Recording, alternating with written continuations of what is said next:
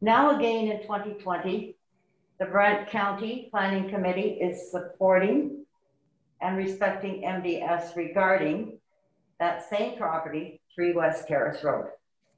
The county's planning committees have shown uniformity in making both of these extremely important decisions. I wholeheartedly agree with Mr. Hitchen that this is only an application to amend MDS. Therefore, I request that you, the council, concentrate only on this factor and not lose focus by all of the other reports that have been submitted. This is about MDS and only MDS and how the applicant wants relief from it. The two legal cases that were submitted by Mr. Hitchen in reference to MDS reductions that have occurred in Ontario are not at all similar to the cases in, in to this case in scope. Once again, do not let this information distract you nor influence your decision. You need to know how many cases were challenged throughout Ontario and how many were rejected or accepted. The legal, legal aspects of this proposal should be dealt with at the tribunal level should this situation come to that. It was surprising to see that Cahoon Engineering submitted a letter on behalf of the applicant's proposed severance application. Cahoon Engineering was the firm that dealt with the 2003 severance for the establishment of 9 West Harris Road. I do not understand how this firm can support this application as they should be fully aware of how 9 West Harris Road came to be and why no further development can happen on the West Harris Road between our farm and the Brant School Road. In addition, I wish to inform you that false information was presented in 2003 regarding our farm. And now in 2020, important information regarding the farm again has been overlooked. It baffles me how easily information can be misconstrued or manipulated to put a different light on things. In 2003, it was stated that we had no livestock on our farm due to health reasons and that our farm was up for sale as a cash crop livestock operation. None of this was true. Our farm has never been for sale. Now that we have access to computers, we are able to discover things more easily than we could before. The MDS calculations done for the, by the consulting firm for the Oosterhoffs ignored the one that one type of livestock raised on our farm was pigs. In fact, swine was the largest facet of our livestock operation. Ironically, pigs are the most damning of all animals in calculating MDS. Our consultant conferred with OMAFRA to calculate the MDS for our farm so that the province and ourselves were on the same page. The MDS for our farm was 527 meters. At the March 3rd meeting, Mr. Oosterhoff said that OMAFRA supported their proposal. At the February 7th meeting of the Agriculture Advisory Committee, Drew Crinklaw from OMAFRA conducted a training session to clarify MDS in general for the AAC members. A handout compiled by OMAFRA was distributed at that meeting, which clearly states the following, and I quote directly from that handout. OMAFRA can assist with technical aspects related to MDS, but staff do not provide comments or recommendations on the appropriateness of reducing setbacks for site-specific applications. This is considered to be the responsibility of the decision-making authority on the merits of the local circumstances. In general, the ministry does not support MDS setbacks. Brant County's decision-making authority falls in the hands of the Park Planning Advisory Committee and you, the elected county council. I did speak to Drew Crinklaw following the March 3rd meeting to suggest that he view the YouTube video of that meeting to see exactly how what he did say was being misconstrued. I am happy that Mayor Bailey and some of the councilors were present at that AAC meeting to witness the overall confusion and to hear Drew Crinklaw state that he could not provide specific information on individual situations or cases. That confusion at this meeting was reinforced when, at the conclusion of the meeting, a member of the AAC committee was extremely upset with himself and indicated to me that he had voted the wrong way. I wonder if there were others in that same position. Before closing, I want to emphasize the following points.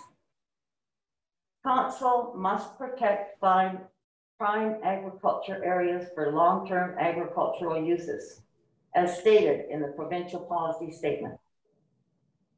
The County of Brant's official plan states as part of the policy compliance, council must ensure that agricultural operations are protected from surrounding land uses by incorporating MDS and guidelines.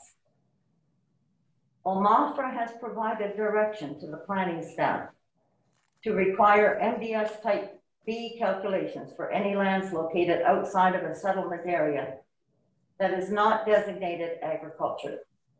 The type B calculation has a doubling factor built into it. If the staff recommended approval of this reduction, it would be in contradiction of the directions from OMAFRA. I keep hearing that there are already restrictions on our farm because of 9 West Harris Road. If anything, it was the creation of 9 West Harris Road and the conditions imposed at that time that are the key factors in prohibiting further development on West Harris Road. Once again, we urge the council to uphold the Planning Advisory Committee's decision and reject this application.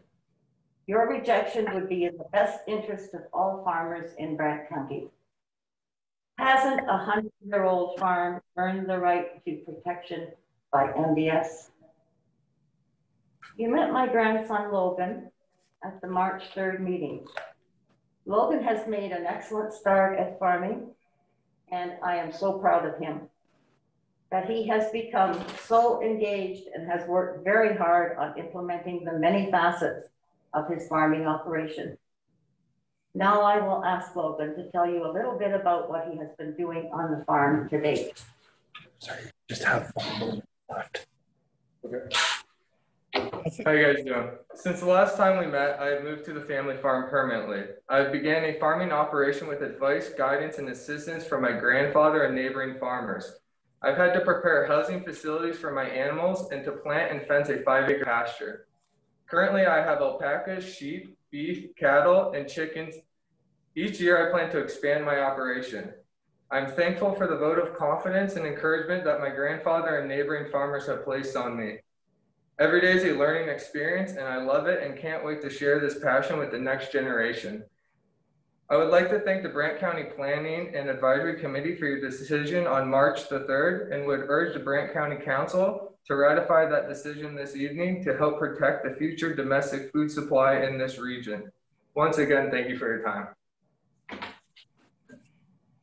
Thank you, Logan. Um, are there any, are there any questions to the presenter, either to Ms. Harris or to Logan? Any, anything that's not clear? Seeing none, thank you for coming out tonight and, and thank you for telling us what's, uh, what's changed or what's different on the farm. Uh, so thank you very much and we'll deal with this after the delegations have all spoken. So thank you very much. And Madam Clerk, if you could show that Councillor Chambers uh, signed in at uh, 13 minutes after six. And there he is. He's still here. So yep. let the minutes show that he did arrive. Um, going to number 4B, please. Our next presenter is Larry Davis. I believe he's zooming in. Do we have Larry on the line, Heather? Yep. Larry? Can you hear me, David? I don't know whether they're going to allow me in there. I've got you, Larry. Oh, sorry, Mr. Mayor, yeah, so, That's right. hi, Larry Davis, and I'm uh, addressing council on behalf of the Ontario Federation of Agriculture as a director for the Ontario Federation of Agriculture. It's my understanding that there's a, uh, um, a uh, application here for a severance that's uh, already been turned down, and now that's coming to light again. So my, my take on this is that agriculture has been impacted, and already there's almost a small village in this area which will uh, ultimately restrict agriculture, and uh, one more does not make it better. So I speak on behalf of the farmers in this case. I know there's a lot of evidence pointing to the fact that it can be done, but that doesn't mean that mistakes from the past will be better in the future because one more mistake is added to it. So I humbly present to you the idea that this should be denied to be split into two lots. If there's any questions, I'd take them. Thank you, Larry. Are there any questions to, to Larry, the presenter, representing the Federation? Seeing none, thank you, Larry, for taking the time to be here tonight. Also, we received your letter in our package too from uh, Ms. Voss. I understand she's out west and couldn't be here tonight. Yes, Thank you for your coming out and supporting the applicant. Um, thank you. Thank you. We're going to move on now to 4C. Uh, Ted. Ted is here, I believe, isn't he? Could you give us your full name and your address, please? Good evening, uh, Mr. Mayor and members of council. Ted Schullege. I'm speaking this evening as president of Brant Woodlot Owners Association. I've been farming for 55 years, the last 26 certified organic. In fact, my organic inspector was out this morning and I passed with no non-compliances. Uh, phew. Uh, anyhow, um, as I drive around the county, as uh, I was on Burford Township Council for three terms uh, during the 90s, uh, so I have some familiar with planning and that sort of stuff. Um, as I drive around the county, I am appalled at the number of windbreaks that have been bulldozed in the last several years, and also some of the woodlots that have been slowly diminished. People buy a bulldozer and push, push each year, and the wood, woodlot gets smaller and smaller. Um, now, why is this important? Our climate is changing, and as a volunteer weather observer, I have the numbers. I'm in a 2,950 heat unit zone where I live down two miles east of Calvin on the Burford Delhi Town Line Road. Um, last year, I got 3,432 heat units. The year before, it was 3,572 heat units. That's an indication of what is happening with not only locally, but globally. Our planet is warming big time. And you see the collapse of the first ice shelf in the, the Arctic here about three weeks ago or so. Now, why is this important? Terrible reduction tonight. Uh, Woodlots have a cooling effect on the local area. And also, besides the cooling effect and moderation of climate, they also provide habitat for a variety of animals which are stressed in these day and age because a lot of their natural habitat has already been destroyed. So I don't know. I can't get into the mirror to find out whether anybody else is having problems. I couldn't hear what it said. Excuse, excuse me just for a minute. Can somebody see what's going on with Councillor Coleman, please? He's not uh, able to see what's going on or hear what's going on, but we can still hear him. I, I couldn't make out what was said. I'll get on it. Uh, It, it's okay, you can continue. Thank you. Okay, so basically, as the Woodlot Association is opposed to these uh, severances, and uh, for the reasons that I just mentioned, um, we should regard our, this generation should regard ourselves as custodians for future generations in protecting these areas because they are not, not only important from our societal point of view, they're important from the next uh, two or three generations down the road. As the natives say, before we do something, we should think seven generations ahead to realize the implications of what we are doing or planning to do. So uh, basically, that's it. as far as my presentation is concerned. Um, the woodlot owner, uh, Brant County Woodlot Owners Association is opposed to the severance. And the lady before me talked about minimum separation distance and so on. As a farmer, I can appreciate that also. Because it places a restriction. If you have nearby lots, it places a restriction on what farmers can do on their property. Anyone have any questions? Thank you very much. Are there any questions to the presenter regarding Woodlawn? No? Robert, I can see you smiling. I know. Robert, Robert smiles a lot. He was read when I was on council with him. Oh dear, we'll have to retrain you. Thank you. Take care. Good luck. Thank, thank you very much. Um, moving right along to four D. Mr. Hitchon, I believe you're the next delegation with Mr. Snodgrass. Yep, They're just moving into the room. Mr. Mayor, they're on their way. Thank you. Can you hear now, Brian? We have staff on the phone with Brian. Okay, thank you.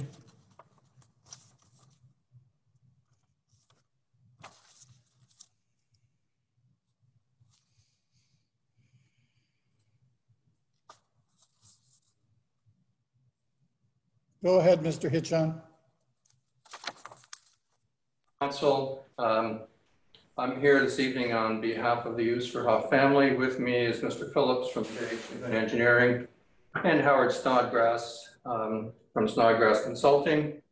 Uh, it is intended that I will make the, the presentation um, and the others are available if there are questions in the area, their area of expertise. Um, I believe you're familiar with the application. And with time constraints, I won't repeat it. It's in the material before you. You have uh, Howard's uh, presentation, which starts at page 36, I believe, of your report, and uh, uh also Bob Phillips' uh, submissions. It's important to note uh, what this application is and what it is not.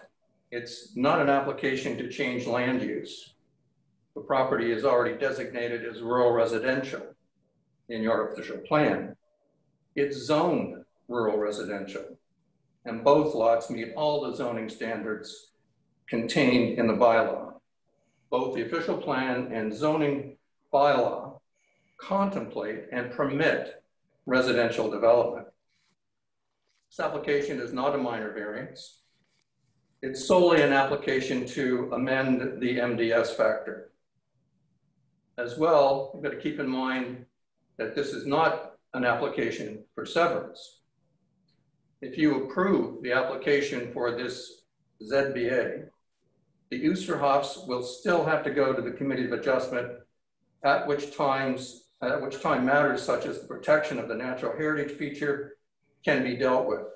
Quite frankly, those issues are not before you this evening. There's one request, and that is to reduce the MDS. Nonetheless, I point out that in your material, you have an environmental impact study and their environmental planner has considered the comments of staff, staff and confirmed their opinion that the proposed development will take place outside of the appropriate buffer zone, which will ensure minimal disturbance to the forest and slope of Fairchild's Creek. As well, that report states there will be no long-term negative impact to the function of the woodland or the slope as a result of the development. Keeping in mind that the natural heritage area is down near uh, Fairchild's Creek, the land closer to West Terrace Road is indeed rural residential, both OP and zoning. Uh, I referred you to Mr. Snodgrass' plan and justification, um, which is at page 36. And I'd like to refer you in particular to page 38 and that's a, an aerial photograph that shows the area in question. It shows the already existing non-farm residences, the um, building lots that are already approved, and it is indeed, in our submission, a significant uh, cluster um, of those lots. Mr. Snodgrass has confirmed to you his opinion that the application is in compliance with the Planning Act the provincial policy statements, the growth plan for the Greater Golden Horseshoe, and the county OP. He also points out that the EIS has confirmed compliance with the foregoing planning documents. The arborist report has not revealed any significant timber constraints. The archaeological report has not found any significant artifacts and the Ministry of Natural Heritage has no objection. The GRCA indicated that they have no objection to the two lot development, the GRCA. The surrounding land use uses are similar uh, to numerous rural residential, estate residential type uses in the immediate vicinity. And, and that is where I want you to look at page 38. Keep that uh, in front of you, if you would. You also have um, the report or motion of the Agricultural Advisory Committee, which listened to OMAFRA and planning staff and answered, uh, who both answered questions in regard to the environmental planner's comments and the possibility of the expansion for the Harris Farm. This and your Agricultural Advisory Committee passed a motion in support of the application as there were already two residences in closer proximity at 9 West Harris Road and 16 West Harris Road. It's important to note that this application would not take any land uh, out of agricultural production. And I believe under separate cover, many of you, if not all of you, it's intended to be all of you, have seen the history of this property and the development of the plantation, not the woodlot, but the plantation that was planted there by the Drakes uh, in the 1990s. I wanted to refer you to uh, the MDS and point out that it's not legislation, it's not a regulation. Uh, it, uh, the MDS itself contemplates reducing separation distances. I would refer you to Mr. Snodgrass's analysis and opinion and that of Mr. Phillips. No one is disputing, I mean, by that I mean not just us, but no one is disputing that 9 West Harris Road and 16 West Harris Road will set the goalposts for future expansion of the Harris farm. And this is the key point in all of this.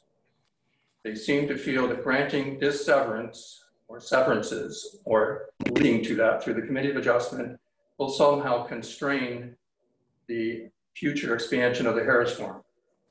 That's already set. That's already set by those other two residences. That's confirmed by your planning staff it's acknowledged by your Agriculture Advisory Committee. It will not have an adverse impact. We've also um, pointed out that the term minor variance is a quantitative and not uh, is a, or not a quantitative measure, but rather a qualitative one. In our submission, the impact of two additional dwellings, given what you see on page 38 from the aerial photograph, will not have a significant impact. I've also provided you with the um, local planning appeal tribunal case law that has come out with respect to MDS in February and July of this year. I do so to show you that that tribunal is granting significant um, reductions in the MDS or saying that they are minor in nature. So I provided Brown and Brown that was an application for minor variance. The uh, Committee of Adjustment in that case approved uh, an MDS reduction from 193 meters to 46 meters from a livestock facility and 214 meters to 32 meters for an adjacent manure storage facility. That's the order of magnitude that the tribunal approved. Committee of Adjustment approved in that instance, and the uh, LPAT seconded that. The second case is uh, Norton and Central Elgin, a case coming up just in July. The MDS, MDS requirement was 354 meters. The actual separation was 72 meters. In that case, there were four other existing single detached dwellings um, proximate to the subject lands. One dwelling and possibly two, and two lots were closer to the livestock building than the proposed dwelling. The residential use is proximate to the livestock facility already exists And that's the case here. We already have two closer residences.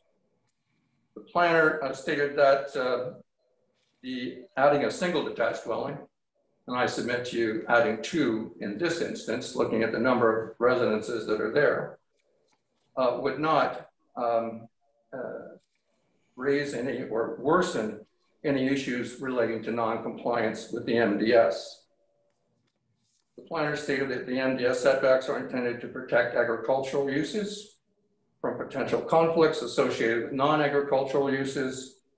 And he said, given the existing relationship between the dwellings and the associated livestock facility, facility that intent was indeed maintained.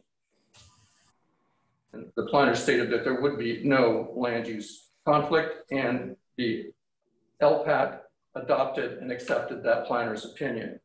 Mr. Hitchon, you have one minute. Thank you. It's all, also interesting to note that the tribunal in that case pointed out that the residential policy in the 2020 provincial policy statements has been changed somewhat from 2016. The permitted uses in the 2016 policy include limited residential development, whereas the 2020 version includes residential development, including lot creation, that is locally appropriate. We submit to you that indeed the application before you is appropriate. We request that council reverse its position, not accept the recommendation of the Planning and Development Committee, and pass a motion to approve this application. Two, one, I'm done. Thank you. Thank you, Mr. Hitchon. Are there any questions to the presenter or the representative of the applicant?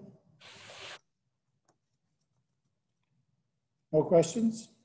Concerns? Thank you for coming out tonight and uh, stating your case, and we will deal with this in just a moment. Thank you, Mr. Mayor. Thank you. Councillor Pierce, can I turn this over to you for a moment, please? You can, Mr. Mayor. Thank you. Uh, moved by myself and seconded by Councillor Coleman that the presentations regarding this Planning and Development Committee report of March 3rd be received as information and referred to the consideration of item 5A committee reports. Thank you. Everyone's clear on what we're voting on to accept and bring it back for 5A. Those in favor? Opposed? Councillor Miller, you're opposed? Councillor Miller, can you hear me? Yes, I'm, I'm opposed, Mr. Mayor. Thank, thank you. Carried. We're going to go with 5A, please. Yeah, moved by myself and seconded by Councillor Wheat that the Planning and Development Committee report of March 3rd, 2020 be approved as follows.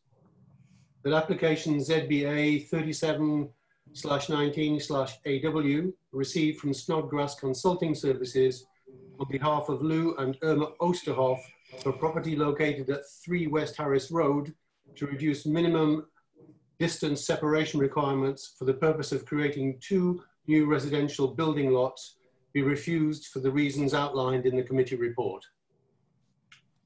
Thank you. Are there any questions or concerns? Councillor Gatwards first, please. Thank you, Mr. Mayor. Are we not going to hear from our planner who did the report? It hasn't um, come back. Um, I, I guess I'm thinking we dealt with this so long ago in March. I would like to hear from the planner um, to reinforce her report we gave we gave the delegations to two opportunities to speak. And i would think we should give our staff two opportunities to speak. So i'm requesting that amanda um, who is the planner for this report um, should present there is a report on the back of our package it came in at the last minute as an addendum item. Councillor Gatward, I'm going to let John Wheat uh, speak first, please. Okay. Thank you, Mayor. Uh, through you to committee, I was a seconder uh, for Mr. Bell's report, but I will not be supporting it when it's time to vote. Um, I encourage, in my opinion, members of council to reject this report. And if so, if it is rejected, then I will make a subsequent recommendation.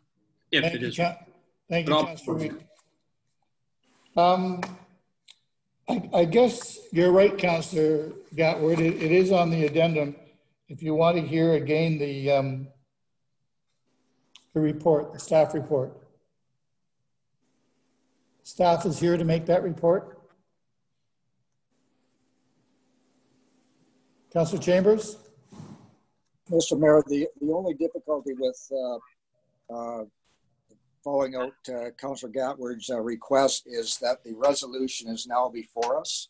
Yes. So uh, any uh, additional participation by anyone would be out of order in my mind, uh, my opinion. And um, that with the fact that the written reports are available and have been available for uh, quite some time, the original reports I'm talking about. And we did receive the addendum a little bit late, but uh, there's no significant differences. So uh, basically to hear staff when the resolution is before council would, in my opinion, be out of order and we should proceed. Thank you. Uh, At this point, we could back it up. If, if the, if the council decides that uh, the report is important and they want to hear it again, maybe we can back things up. Councillor Pierce? Uh, Thank you, Mr. Mayor. Through you, um, I guess my thoughts on it are the fact that, um, as Councillor Coleman said, we had the report from the last meeting. We got the report again in our addendum. If there's anything new to the report that uh, Amanda would like to add to it, I would suggest that that's pertinent information we need to know. But if there's nothing changed in the report, I'm not sure why we need to go over it again. Thank you, Councillor Pierce. Councillor Chambers, are you okay with that? If there's anything new that wasn't on the re- report before, that she could mention it now? Councillor Uh, Chambers? Mr. Mayor, I'm, I'm uh, uh, in support of anything you wish to do. Thank you very much. Councillor Howe is your next, please.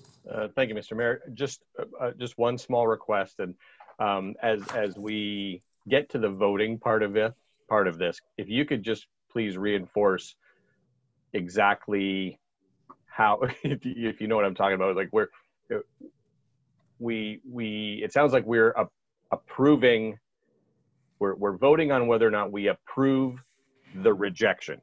And, and, and I just want to make sure it's all clear when, when we come to that. Thank you. Thank you, Councillor Howe. We'll make it very clear when we vote. Uh, Amanda, do you have anything to tell us that wasn't on your original report or anything that's changed? Through you, Mr. Mayor, the report that was included in the addendum is the identical report from the March meeting. I have not added any additional information. Thank you, Amanda. Councillor Gatward, no one on council seems to need to um, hear it again. Councillor Coleman has his hand up. Thank you, Mr. Mayor. I, I just have one question for Amanda. Yep, Amanda, all I have. are you still with us? I'm still here. Thank you. Councillor Coleman? Thank you, Mr. Mayor. Through you to, to, to, to the, to staff. Just please, yes or no? The two other residents that are closer to the Harris Farm, well, they will im, they will also, they will make a bigger impact on the destination of the MDS right now. Is that correct? They already, through you- they're- what I'm trying to say is, they're already in the equation. Through you, Mr. Mayor, um, it's not as simple as a yes or no answer, but those two residences are existing, yes. Is that clear? Follow up, Mr. Mayor. Yes, Councillor Coleman? Follow up on that. So they're already now, they're, the Harris Farm, whoever owns the Harris Farm, whether it's the Harrises, whoever down the road, go to make an application to do something for a livestock operation to increase their livestock capacity, and have to go to an MDS. Those two residents are already affecting it regardless whether the Oosterhoffs get their two uh, proposed lots. Is that correct? Through you, Mr. Mayor, that is correct. In addition, those two houses, in addition to the other existing residences as well. Thank you. Coleman. Councillor Gatward, you were next, and then Councillor LaFerriere, please. Councillor Gatward. Thank you, Mr. Mayor. Through you to the planner, it was my understanding that the MDS calculation, when there is a cluster of four homes, right now we have two, two homes. When there's a cluster of four homes, that the MDS would have to be backed out further into the farm field if the farm wanted to expand its operations. Is that correct?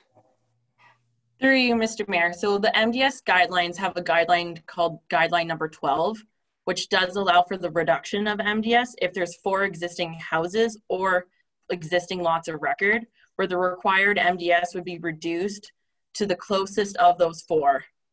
But that doesn't apply in this situation because there's only within that arc that's drawn, there's only the two. So if Mr.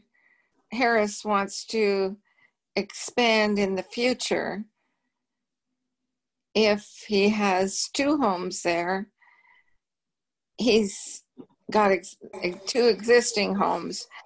But if he wants to expand and there's four existing houses because we allow two more, does that push the MDS calculation further out?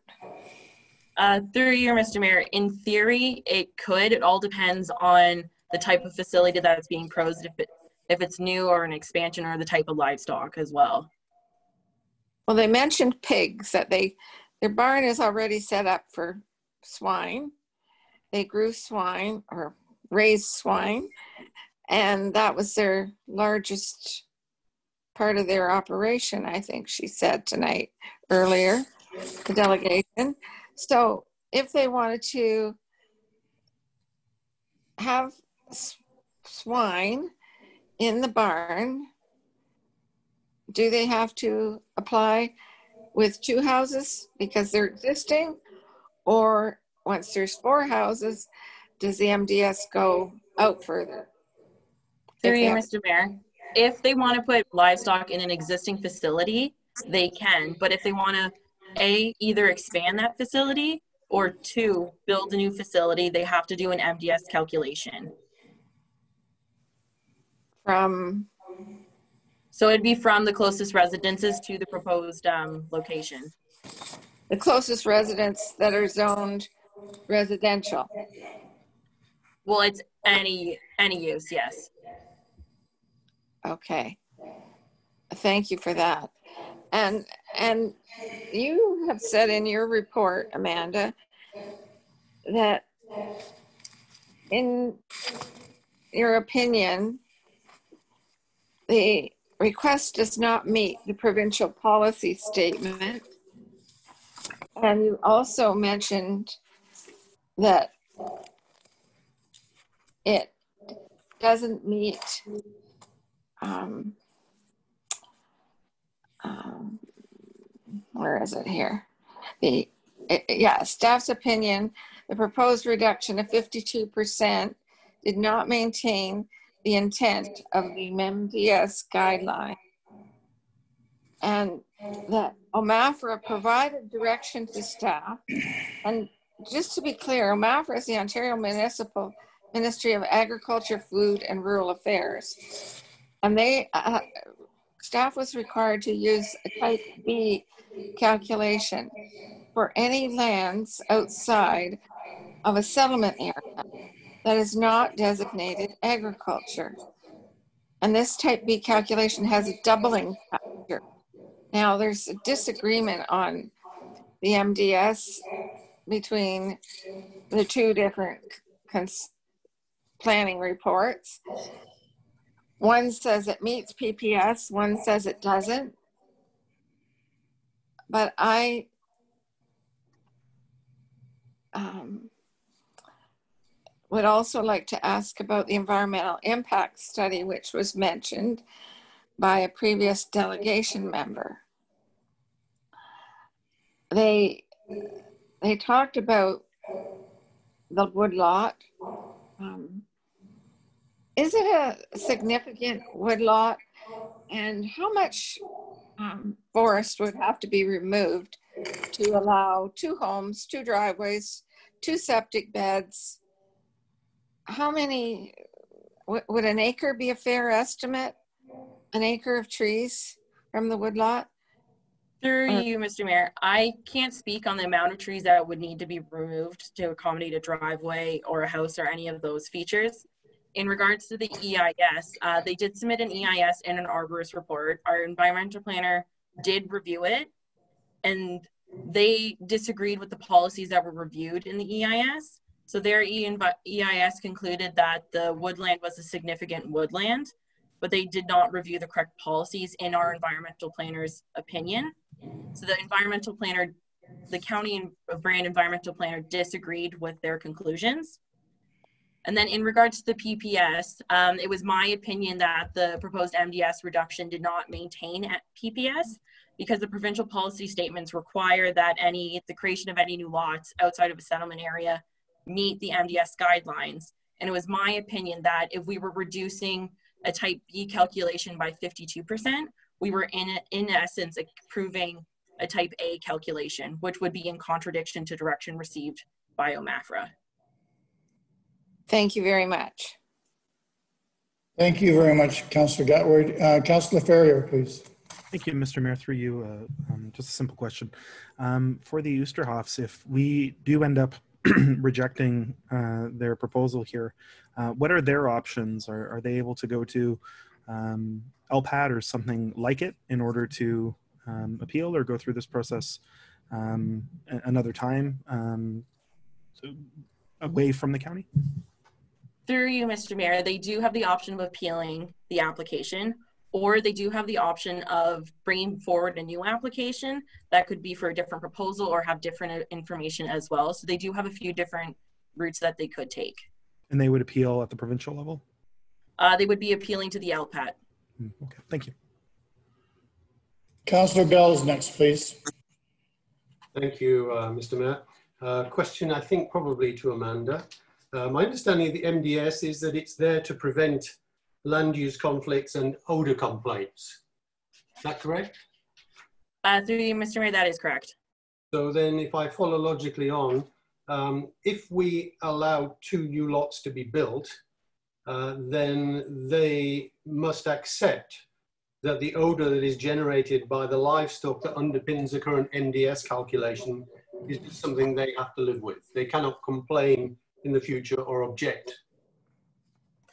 Through you, Mr. Mayor, it's my understanding that if bylaw receives a complaint in regards to odor, noise, or anything, or operations or farming operations, they do, they are obligated to follow up on it. So if these lots were created, there is the potential for complaints for the Harris Farm.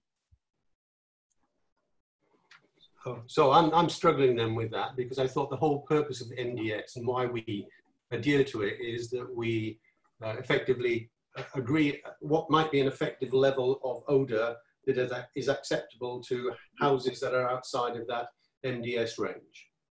Is that a misinterpretation? Uh, you, Mr. Mayor. So there's two different MDS types of calculation. There's a type A calculation and a type B calculation. The type A calculation is for required for calculating the distance between agricultural designation and agricultural designation. Whereas this application, they had to do a type B, which was a calculation between agricultural and any other type of designation outside of a settlement area, which in this case was rural residential. So the type B calculation has that doubling factor built into it to help address potential um, land use conflicts such as noise and noise and odor. So, so in simple terms, there is no limitation on the odor that can be generated by the livestock that's the basis of that MDS calculation. Through you, Mr. Mayor, that's my understanding. Okay. Um, so I, I'm, I'm, I would say that, that that for me makes the difference that there is the potential that the Harrises will have livestock of a up to the limits that they have in their MDS calculation, which may generate which new owners of these lots, should we agree them, might then come and complain. That's exactly the issue that Harris's are trying to avoid. So I'm going to side with maintaining the refusal. Are there any other questions or comments? Thank you, Councillor Chambers, for not losing your noodle over the fact that we did um, get a lot of information from Amanda. Thank you, Amanda, for being here tonight and clarifying uh, at least something for, for Councillor Bell. Uh, Councillor Miller wants to speak, I believe. Councillor Miller, yeah, I see him. You have to unmute yourself, Councillor Miller. Yep, thank you, Mr. Mayor. Um, I just want to point out that on the uh, same evening that we um, turned down this application back in March, um, the same committee approved two other lots in Scotland. Um, and it's interesting because the two lots we approved in Scotland, similar to these two, were already uh, rural residential in the official plan. To me, the big difference was the ones in Scotland are, are currently being farmed. They are in agriculture, whereas these two are not. So um, I appreciate the uh, Brant Federation of Agriculture coming out, and I appreciate the Brant Woodlot Association making their comments known. I, would actually like to hear from them more often. Um, having said that, um, I don't see any MDS restraints listing on these two houses that have all, that aren't already um, imposed by the two existing lots. So um, I, I, will not support the recommendation as presented. Um, and I, I do want to point out, Mr. Mayor, and I am concerned that there was um, undue pressure put on planning staff by some of the opponents of this application. Uh, if people have uh, opinions or they want to oppose something, I think that's what we as elected representatives are there for. They should come and put pressure on us. Um, and the only pressure staff should feel from the public or from any counselor or the mayor or yourself, mayor, is, is the pressure to do the right thing. So I wanted to say that because I was concerned about what I felt was undue pressure. I, I heard staff being described as incompetent. I heard staff uh, was accused of doctoring um, official documents, which didn't turn out to be the case. So um, I do see that as a concern, and I hope we can nip that in the bud for, for any future applications. I'll leave it at that, Mr. Mayor. Thank you, Councilor Miller. Councilor Pearce, please. Um, thank you, Mr. Mayor. Through you, if we're into to comment uh, section here. Um, I listened to everything that came out in March. I listened to everything that was stated again tonight, and and, and I'll have to go back to something that Mr. Hitchon said. Um, this isn't about a severance. This isn't about a zoning change. I agree with that wholeheartedly. It is strictly about the MDS, and to me, that's where I have the biggest problem. because if we're reducing something by 52 percent that in my mind is in no way shape or form a minor variance of any sort. We're in essence cutting it more than half. If if i were to relook at this and we were like 20% reduction i might go for this but there's no way that i can support a 52% reduction in mds that to me is the is the the crutch of this whole thing. As mr hitchon said we can forget about all the other stuff because he's right. It's not here for for a severance. It, it, if we approve it we may get to the point where they're severing it down the road. But we have to look at the mds like he said. And to me when you're reducing something by 52% that in my mind is unacceptable. So i will be supporting the refusal any other comments or concerns? Seeing none, I'm going to ask uh, the clerk to read exactly what we're voting on, please, before we call the vote. And we will have a recorded vote. The recommendation is that the Planning and Development Committee report of March 3rd, 2020 be approved noting that that report recommends refusal of application ZBA 3719AW.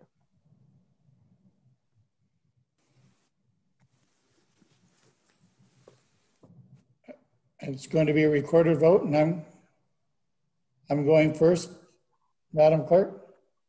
Okay, Mayor Bailey? I vote to refuse the application to se- to sever the properties. So you're in favor of the committee report? Yes, ma'am. Okay. Uh, Counselor Wheat? No. Counselor McAlpine? Yes. Counselor LaFerriere?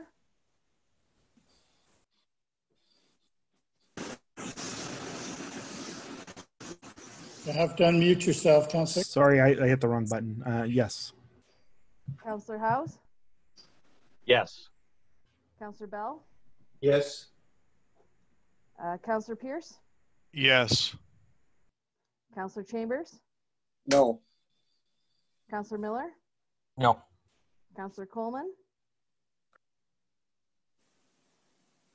Counselor Coleman, if you could unmute yourself, please. Counselor Coleman. I think it's very important we wait for Councillor Coleman's vote, please. I'm back.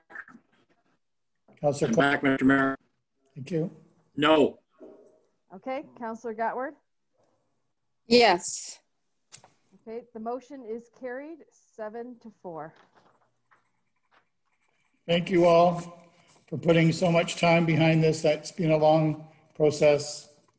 And um, thank you. Moving on.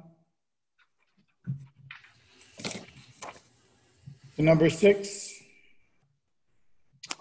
Planning applications. Seven o'clock. It's seven o'clock. Uh, Public meeting, please. Uh, Matt, if you could take this away for us, please. Thank you very much.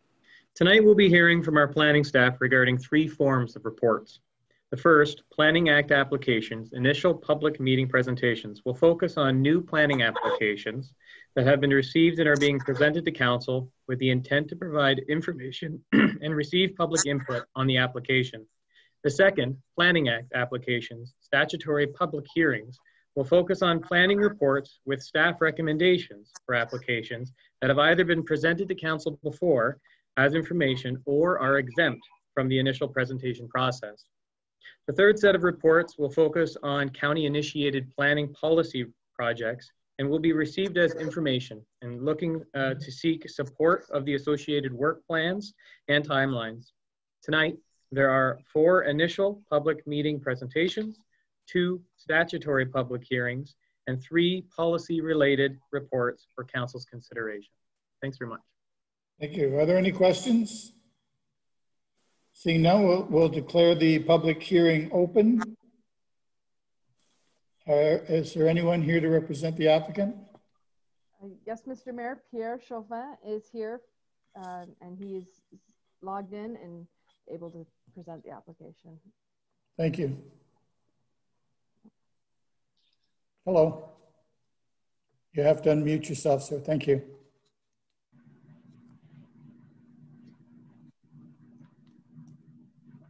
Uh, Am I allowed to speak yet, or am I waiting for Dan? No, we're, we're waiting Mr. for- Mayor, would you like staff to present first? Uh, Sure, staff could present first. Thanks, Dan. Point point of order, Mr. Mayor. Yes, Mr. Wheat. Actually, the planner should present it first. He, he is, he, he is going to re- do it right now, Councilor Wheat. He should plan it, and then if there's questions of the committee to the planner, handle them, and then the applicant presents. That's Thank- right. Thank you. Thank you. Dan? Thank you, Mr. Mayor. Uh, Staff have received a, a new application for uh, the property located at 1044 Rest Acres Road. Uh, There's two parts to this application. Uh, One is a red line to the uh, previously approved uh, plan of subdivision. And the second part is a amendment to the zoning bylaw. And you have a copy of my presentation in your package. So some existing conditions. The official plan designates the, uh, the subject lands as urban residential. These lands are located in Paris. We are familiar with this property.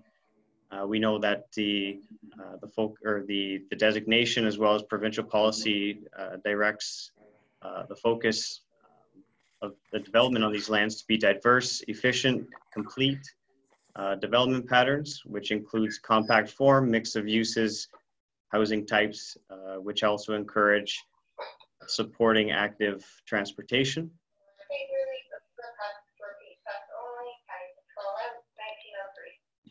The uh, current zoning on the property, as I've identified there, uh, we have an N1-4, which is a minor institutional, uh, which also includes uh, various dwelling types, including row housing and street front fronting uh, towns. We have an RM1-20 zone, which is a residential um, multiple low density zone, which permits row houses and single detached dwellings. And we also have the existing RM3-3, which is a multiple uh, high density residential zone, which permits the apartment dwelling uh, with the number of units, uh, maximum number of units up to 125, a building height maximum of 20 meters, as well as uh, dwelling types, row house, street fronting row house, and single detached dwellings. So the proposal before you, as I mentioned, two parts. Uh, the first part uh, identifies uh, some red line revisions proposed by the applicants. Um, and I've identified a, a, couple of the highlights, uh, which I've I, uh, listed on the right side of the, um, of the slide. So we have uh, the addition of some, some blocks, the reduction of other residential blocks, um, and the addition of a, of a road connection. and this, this reconfiguration uh, also includes uh, an overall reduction in the, the number of units uh, proposed. So the, the second portion to the application is the zoning bylaw amendment. So this is taking, uh, as a result of the layout changes, we're modifying uh, some of the size and the design or the, the zoning classification boundaries um, from uh, specifically from the institutional zone to add more residential uses.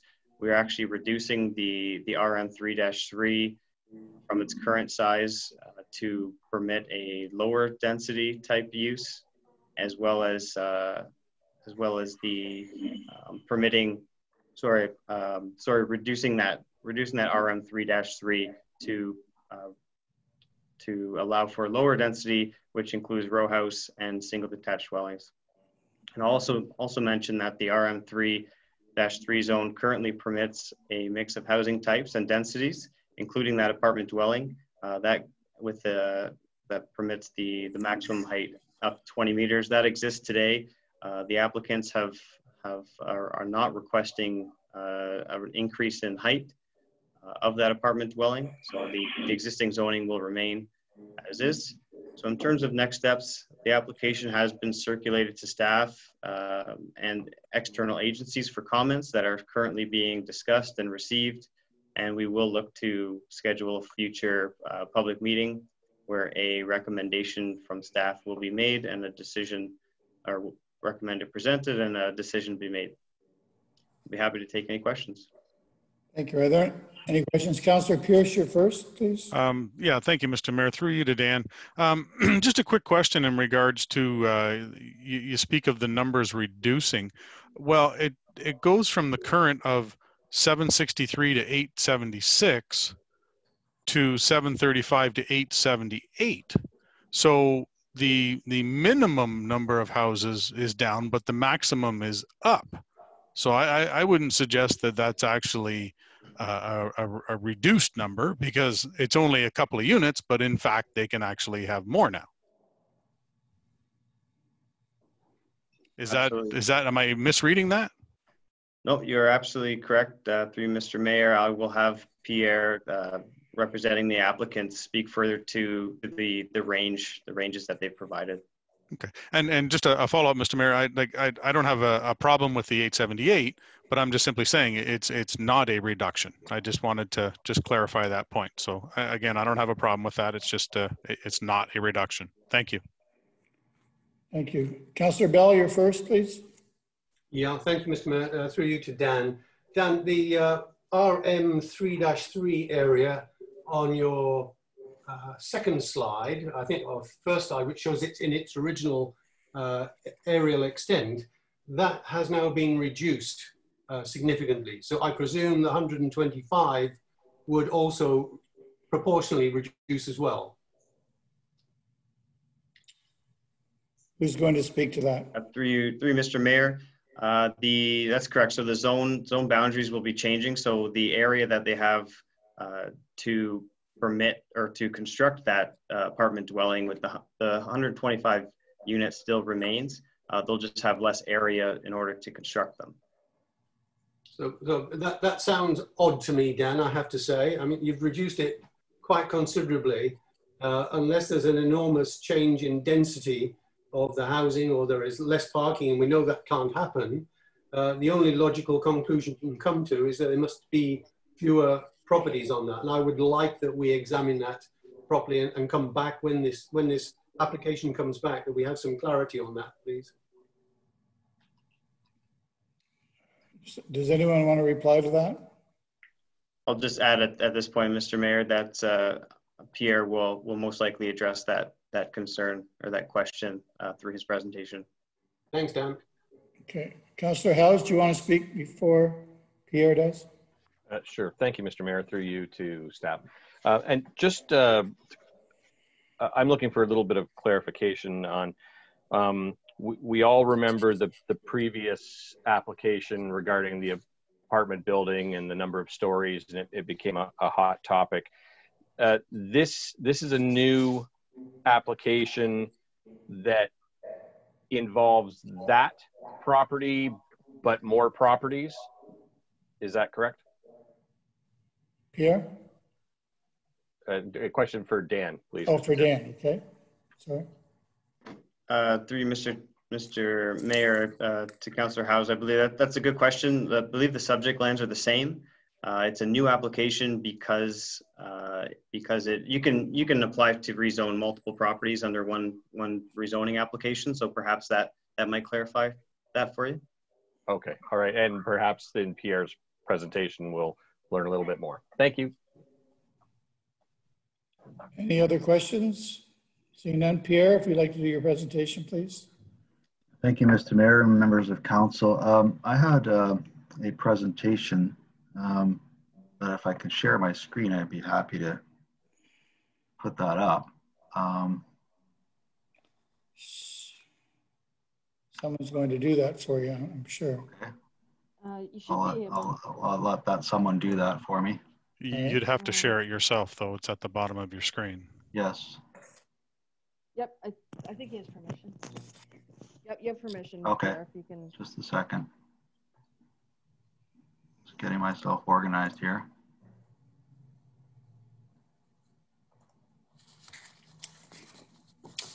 No hurry, yep, there you go. There you go. Is that, everybody can see that, I'm assuming? Yep, I can. Okay.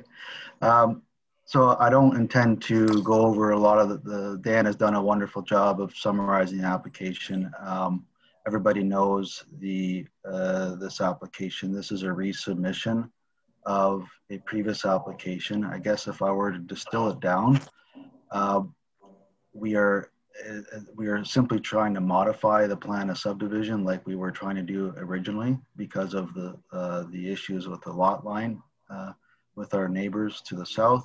Uh, and uh, there's no longer an application to adjust the, the height or density of the multiple residential blocks. So I guess right off the top, I just want to make, make that point. Um, if I can just, uh,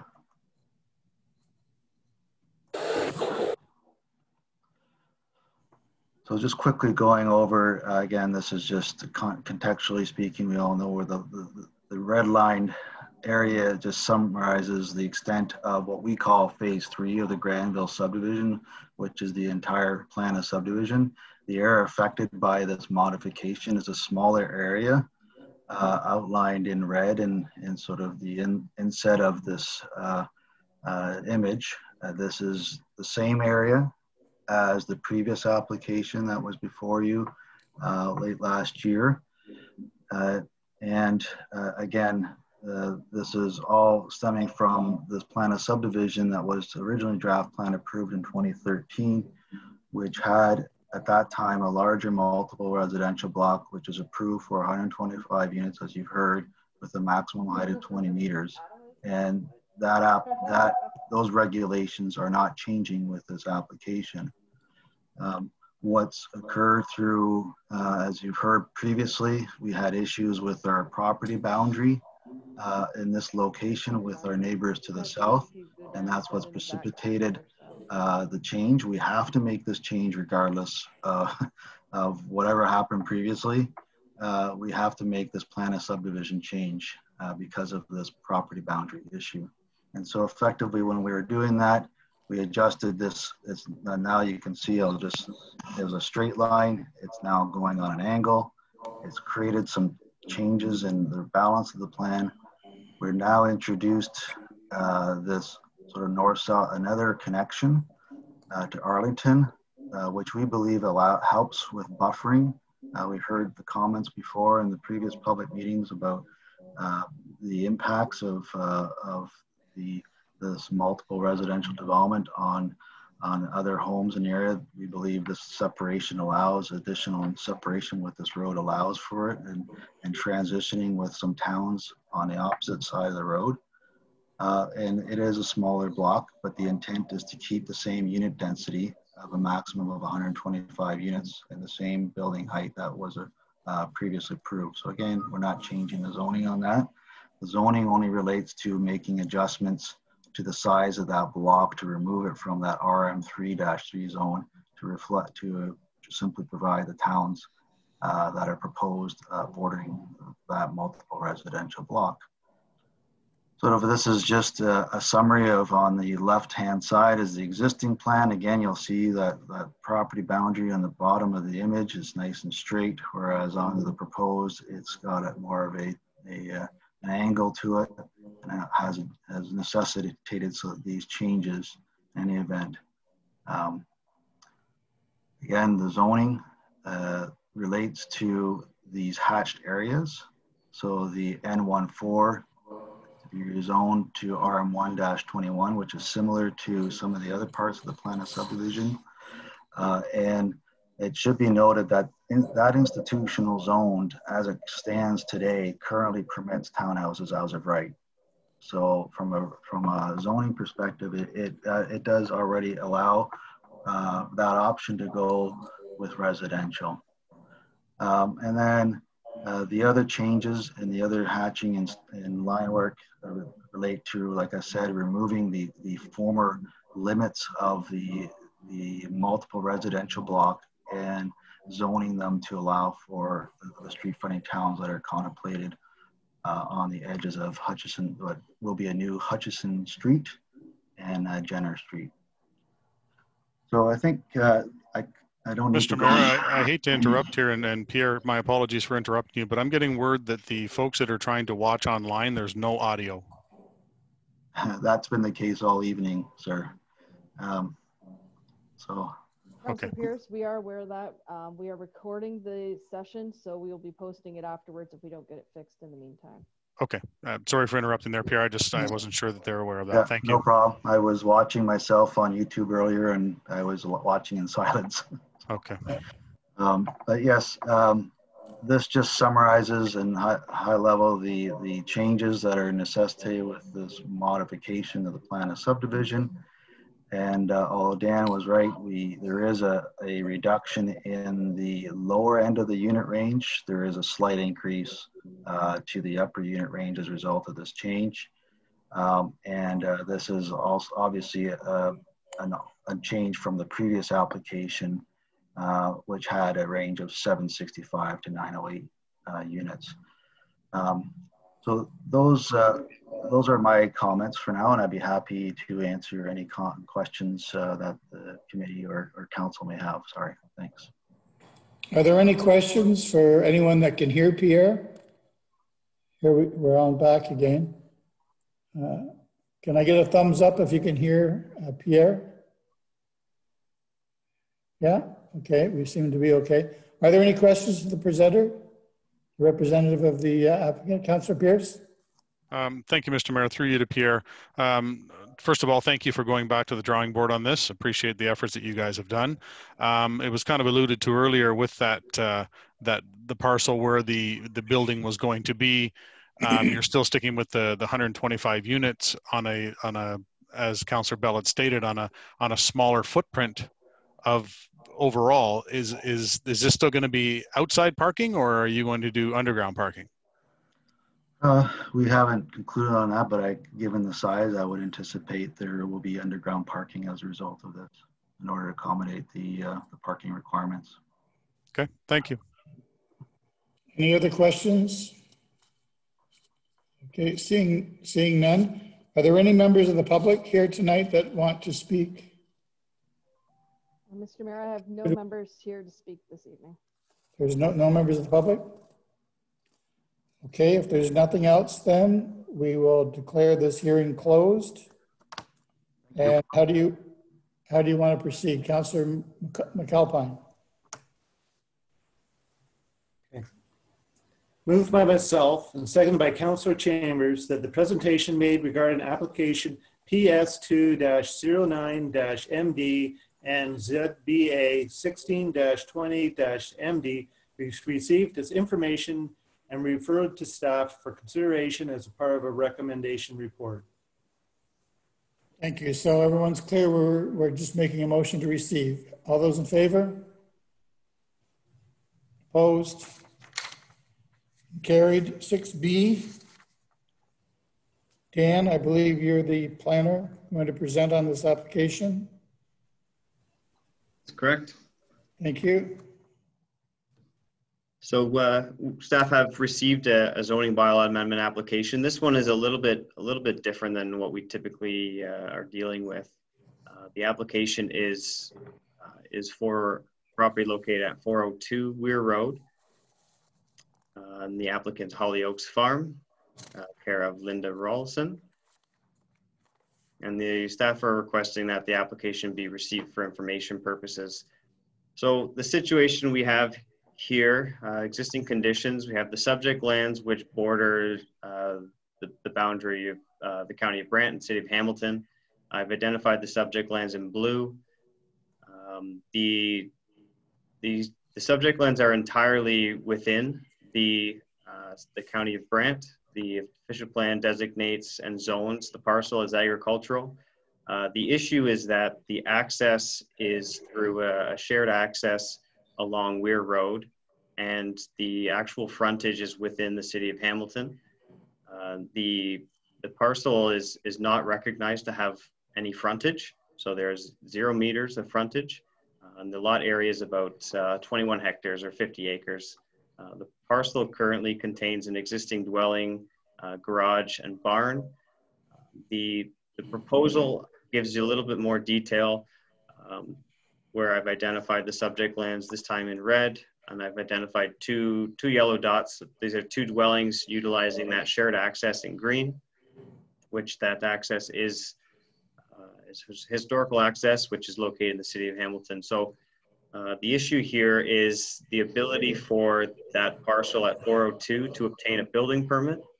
So the, the proposal is requesting to change the zoning on the subject lands from agricultural uh, to apply a, a special uh, exemption, site-specific provision to recognize the existing lot of record having zero meters of frontage, and this is to facilitate uh, building permits for renovations to the existing dwelling, as well as for to allow the the current owners the ability to construct or expand their farming operation. Uh, I'll also add that the requirements of the bylaw must be met before a building permit is issued for the change of use, uh, erection of of uh, an addition or, or alteration of any building or structure. And I'll also note that uh, no new lots are being created or, or activated as part of this application. This, this parcel uh, already contains an existing dwelling and they were just looking to obtain permits to allow them to, uh, to kind of maintain, maintain those uses. Uh, in terms of uh, next steps, we'll continue to receive comments. I, I, have not received comments from the city of Hamilton. I will be reaching out to them. It's important that we that we uh, receive word from them, uh, and we will be looking to schedule a future hearing and uh, look for a, a, a, committee decision on this application. I'll take any questions. Thank you. Uh, before we have questions, I will declare the public meeting opened. And uh, are there any questions to Dan before we no, are there any, is there a representative of the applicant or is the applicant here, Councillor Wheat? The, the applicant needs to speak before you can declare the public portion open, Mr. Mayor. All right, is there anyone here to speak, Heather? No, I have no one here to speak. Thank you. So I'm declaring the public meeting open then. Thank you, Councillor Wheat. Right. Any speakers at all for this uh, application? We're just um, voting to receive. Is that right, Dan? Yeah, and I have no members to speak uh, for or against the application. Okay, thank you. I'll declare the public hearing closed then. Uh, Seeing no other questions, all those in favor? Opposed? We're just receiving, thank you. I haven't presented it yet, Mr. Mayor. Oh, I'm sorry, Councillor Wheat. It's okay. Moved by myself and seconded by um, Councillor Howes that the presentation, presentation made regarding application ZBA 20-20-DM be received as information and referred to staff for further announcements. Thank you. Are there any, any other questions then before we call the vote? Seeing none, all those in favor to receive? Have to get you back on the planning table, Councillor Wheat. No, I just, I'm here to help you, David, that's all. You're, you're doing a great job. Thank you very much. Uh, the next one is for 38 uh, Papple Road. I believe Ryan's going to speak to it.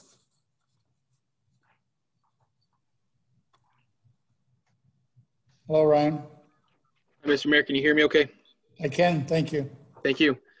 Okay, thank you very much. Um, the subject lands are located on the west side of Papple Road, north of Colborne Street East in Cainsville. Uh, the subject lands are approximately 5.02 hectares or 12.42 acres in size and are surrounded primarily by industrial and commercial uses to the east, west, and the south. There are also several uh, existing single detached dwellings uh, dispersed in the immediate area off of Papple Road and Colborne Street East.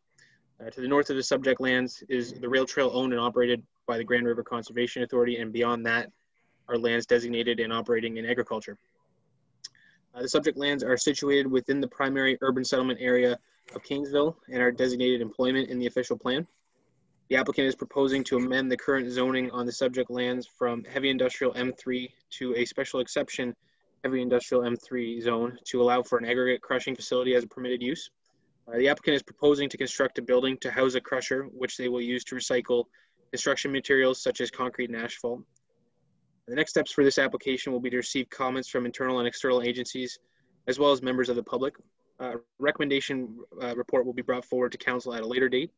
At this time, staff is recommending that this be received for information purposes only. I understand Sarah Code is here representing the applicant and is available to speak as well. Thank you. Thank you. You have a speaker? Who's going to speak? Yes, Mayor, mem- sorry. Um, Mayor Bailey and members of council, my name is Bruno Artenosi. I'm here representing uh, Polcan Construction, which is the uh, construction arm of Olek uh, Real Estate Holdings, the owners, the owner of the um, of the lands, uh, which is the subject of the application before you. And as um, Mr. Cummings also said, I'm joined by uh, Ms. Sarah Code, who will be speaking further on the technical issues on the matter. And we also have uh, Mr. Rob Stevens from HGC Engineering. Uh, all three of us are here to answer any questions that may come up. All right. Uh, just a little background uh, history on Polcan construction. Before COVID, we employed between 60 and 80 full time and part time people uh, all from um, the local municipality, uh, Brant County and uh, the city of Brantford. Currently, we, um, uh, we're getting back into steady operations and uh, are rehiring. Um, our current location, we have a 50,000 square foot building in the city of Brantford, which basically houses our construction equipment, trucks, and our offices but it doesn't provide us any um, facility that we are proposing before you this evening. A major part of our operations is uh, demolition. And from that, we handle a, a, substantial amount of concrete and asphalt uh, byproduct, which should be and is recyclable uh, and should uh, not be dumped in landfill. There's no facility nearby um, that can handle uh, recycling of concrete or crushing of concrete and asphalt. And we're proposing to set up uh, such a facility at, uh, at 38 Papple. Current zoning already uh, permits various construction and heavy industrial uses. We're seeking only to, to expand it to, uh, to uh, enable us to handle uh, the byproducts that we get from our everyday operations. We're committed to being a responsible uh, corporate citizen uh, towards the environment and also respectful of our adjacent neighbors, both corporate and residential. Uh, in that, we're proposing a state-of-the-art facility fully enclosed with up-to-date engineering technology to uh, deal with um, sound and dust emissions. We very much need this facility, and we very much want to stay in um, in the location that we're uh, that we have before you. We need your support and your help in approving this so that we can do so. We don't want to look elsewhere, um, uh, which would take us out of uh, the county and uh, perhaps um, take us away from the local employment base. I think uh, that's all I need to say at this moment. And with that, I'd like to turn it over to Sarah Code, who will address more of the issues that have been raised by, uh, by the county staff. Thank you. Sarah? Yes, good evening, Mayor and uh, members of council. I believe my presentation is included in your addendum package. I am going to uh, skip to slide six, given uh, Ryan's presentation and Bruno's presentation as well, so that I don't repeat anything that has already been said. I would just like to uh, touch on some of the studies that were submitted in support of the application. So uh, first, HGC Engineering uh, prepared a noise impact study, which addressed potential noise impacts and mitigation requirements of the aggregate crusher itself. So Brant County adopts the noise assessment methods and the sound level limits of the Ministry of the Environment. Uh, sound emission levels of the equipment and operations proposed at the site were measured by HGC Engineering at other locations where the same equipment is currently operating. Uh, there are a number of noise control measures proposed for the crusher uh, including enclosing the crusher in a building, specific building insulation measures, and noise barriers around uh, a portion of the site. The noise study uh, does conclude that the recommended noise control measures, um, the sound emissions from the proposed contracting and recycling operations will be within the requirements of the County of Brant noise bylaw and the limits of the Ministry of the Environment. So a portion of this, uh, there is a pond on a portion of the site and uh, a, spe a species at risk report was prepared to address the natural heritage features on the site. Uh, a habitat analysis indicated that there was potential for two species at risk. However, the site visit determined that potential habitat was limited to the pond and adjacent marsh. There is a 10 meter buffer to be provided around the pond and associated marsh and no development is proposed within that buffer area. And in fact, the proposed development is set back quite a far distance from, from that natural area. Uh, a siltation fence is also to be provided around the pond uh, so that no siltation goes into the pond. And tree and buffer planting will be further refined through the site plan application process in consultation with county environmental staff. There was also a uh, traffic impact memo uh, prepared and um, supported the uh, proposal. So the proposed development is expected to employ 40 people and staff will be on site in the mornings and then will disperse off site during the day and returning at the end of the day. So that, um, the, and then there will be five to 10 truck deliveries, uh, which will take place each day. And that, that additional traffic is not anticipated to impact the surrounding road network. So it's our opinion that it, uh, this proposal is consistent with the provincial policy statement as it will efficiently use land in a settlement area and will contribute to a range of employment uses. Uh, the official plan designation does permit heavy industrial uses on the site and a number of studies have been completed to support this proposal. Uh, thank you and I would be happy to answer any questions if there are any. Thank you. Are there any questions to the applicant? Councillor Coleman, please. Thank you, Mr. Mayor. Um, can you tell me uh, when this uh, material arrive will arrive on the site will it be dumped inside or will it be dumped outside and then pushed inside? Um, it will be dumped on the outside and then uh, brought inside.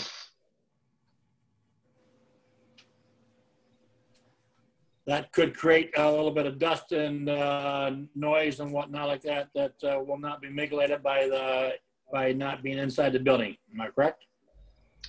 Uh, yes and no, sir. Uh, the the product that is delivered there is are generally uh, large clumps of concrete, uh, very little uh, dust material or um, residue from from the demolition. We're only crushing the large concrete. We're not taking back any of the fine products that are generally disposed off on site, on on the, the, the okay. demolition site.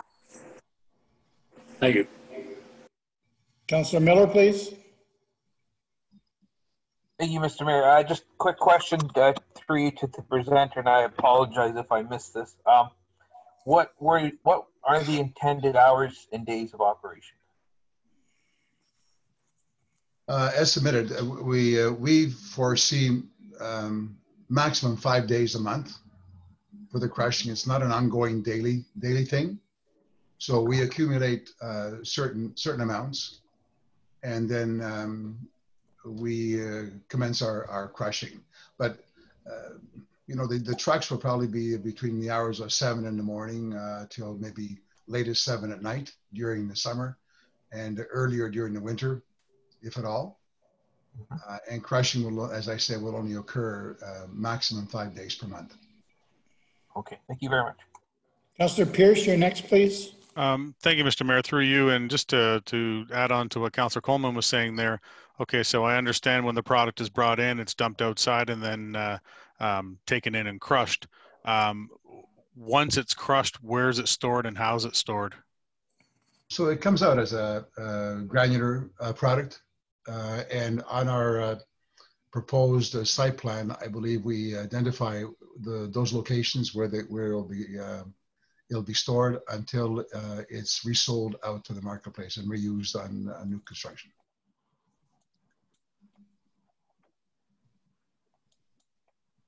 You're okay with that? Sure. Okay. Any other questions? Councillor Chambers, please.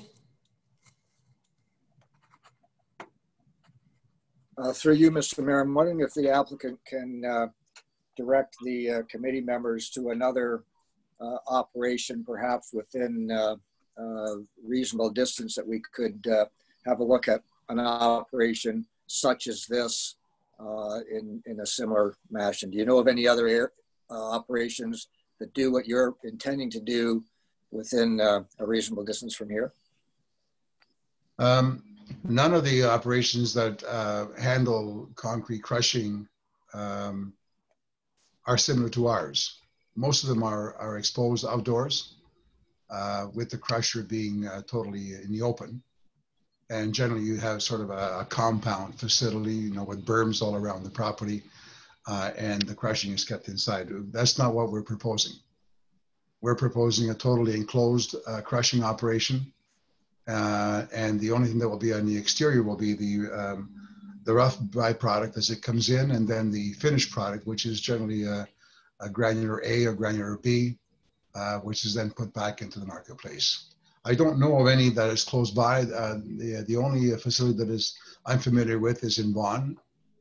Um, uh, I've been told that there may be one in Vaughan, in, in Hamilton, but I don't know of one that is enclosed like ours. We're quite unique. Hmm. Interesting. Councillor Gatward. Thank you, Mr. Mayor. Um, through you to the delegation. Your um, Ms. Cole mentioned in her presentation that the noise levels had been measured in an operation similar to this and that they met the Ministry of Environment's requirements and our noise bylaw. If there's no operation like yours, how did you do that? How did you measure? if there's no completely enclosed crushing facility? Maybe I'll let Rob Stevens handle that. Okay, um, I can respond. Uh, my name is Rob Stevens. Um, I'm with HGC Engineering. We are consulting engineers in noise, vibration, and acoustics. And uh, we were retained by um, OLEC and Polk Construction to, to do the noise study. Um, and we did that with, uh, in, with some consultation with, with Ryan Cummings as to what the expectations the county would be. Um, but the simple answer to the question is that um, we measured the equipment unhoused. So uh, my understanding is it is the exact crusher that will be used on site, and it, it currently operates as a portable crusher that moves from construction site to construction site. And in that capacity, it, it doesn't have the same uh, sound level uh, criteria applicable to it under Ministry of Environment uh, requirements as one that will reside on a site in stationary fashion. So the, um, the crusher itself and the uh, loaders and ancillary equipment that will feed it and the conveyors and so on were measured uh, on a couple of different sites with, with that exact equipment operating, but in an unhoused fashion. Um, and that, that's the input data for our analysis. Um, and, and is typical for, for any sort of predictive analysis when the site isn't built. We take that input uh, data and we use it in conjunction with computational acoustical modeling to account for the differences in the distances from the source to neighboring residences, uh, differences in topography and orientation and site layout and so forth. And in this case, the addition of a building. So we actually started out um, the analysis by looking at what uh, would an unhoused uh, crusher be, what would sound levels from that be? And um, that was not uh, optimal for this site. So um, as, as part of the process, we looked at then moving that crusher into a building and designing the building to have adequate sound containment. So that is done on the basis of analysis that is uh, underpinned with, with measurements. But the measurements aren't direct because, as, as Bruno mentioned, um, there really aren't many crushing facilities around there that are housed inside buildings. Well, thank you for that information. Um, what insulation factor did you use in the building to make the sound outside acceptable? Um, well, I have to go back and look at the specifics, but uh, essentially we uh, we looked at the wall composition and we developed. Uh, it's not a, a, a particularly um, elaborate or um, um, assembly. So what we found was that a, a general uh, building um, so you know, metal uh, metal skin. I believe metal skin. I think I think it's it's concrete up to a, a certain height for safety of the building with with heavy equipment working around it, uh, and and above that uh, an insulated metal building. And um, I would have to go back and look at the report, but there, there are some recommendations in there for what that assembly needs to be in terms of minimum metal thickness uh, um, and um, fibrous insulation on the inside and so forth. There were also recommendations because there's a viewing window uh, on the side that actually faces north away from the closest residences uh, so that operators outside can see the crushing inside and so forth. So there's specifications for minimum glass thickness, uh, minimum um, assemblies for the doors and so forth, maximum sizes for the conveyor openings that come in and out uh, to restrict the amount of sound that can get to the outdoors. So I do have that report handy. Oh, sorry to interrupt. I, I, I do have the report um, on my computer here and can take a look if you need any of the details of the assemblies. Councillor Coleman, please. You, no question? No question. Okay, any, any other questions? I have a comment, Mr. Mayor. All right, Councillor Gatward. Um, I received a call from a business out in that area regarding this application and they were not too happy that they only received the notice on on the Wednesday and they had to get their comments in by Thursday the next day. So I don't know if there's anyone here to speak to this application from the neighborhood or not. I know we did receive one email, but I'm wondering if staff can tell us when those applications went out because I'm concerned about um, giving the public enough time to get their presentations uh, together to come to a meeting like this. But they will have another opportunity, correct, at the next meeting? Is that correct? I, perhaps I can speak to this, Mr. Mayor, and, and Alright. through through Mr. through the mayor to uh, Councillor Gatward. Um, yeah, I, I agree uh, uh, with the uh, the community member who made that comment. Unfortunately, the notice uh, did get out a little late uh, and did not give um, the community a whole lot of time to respond.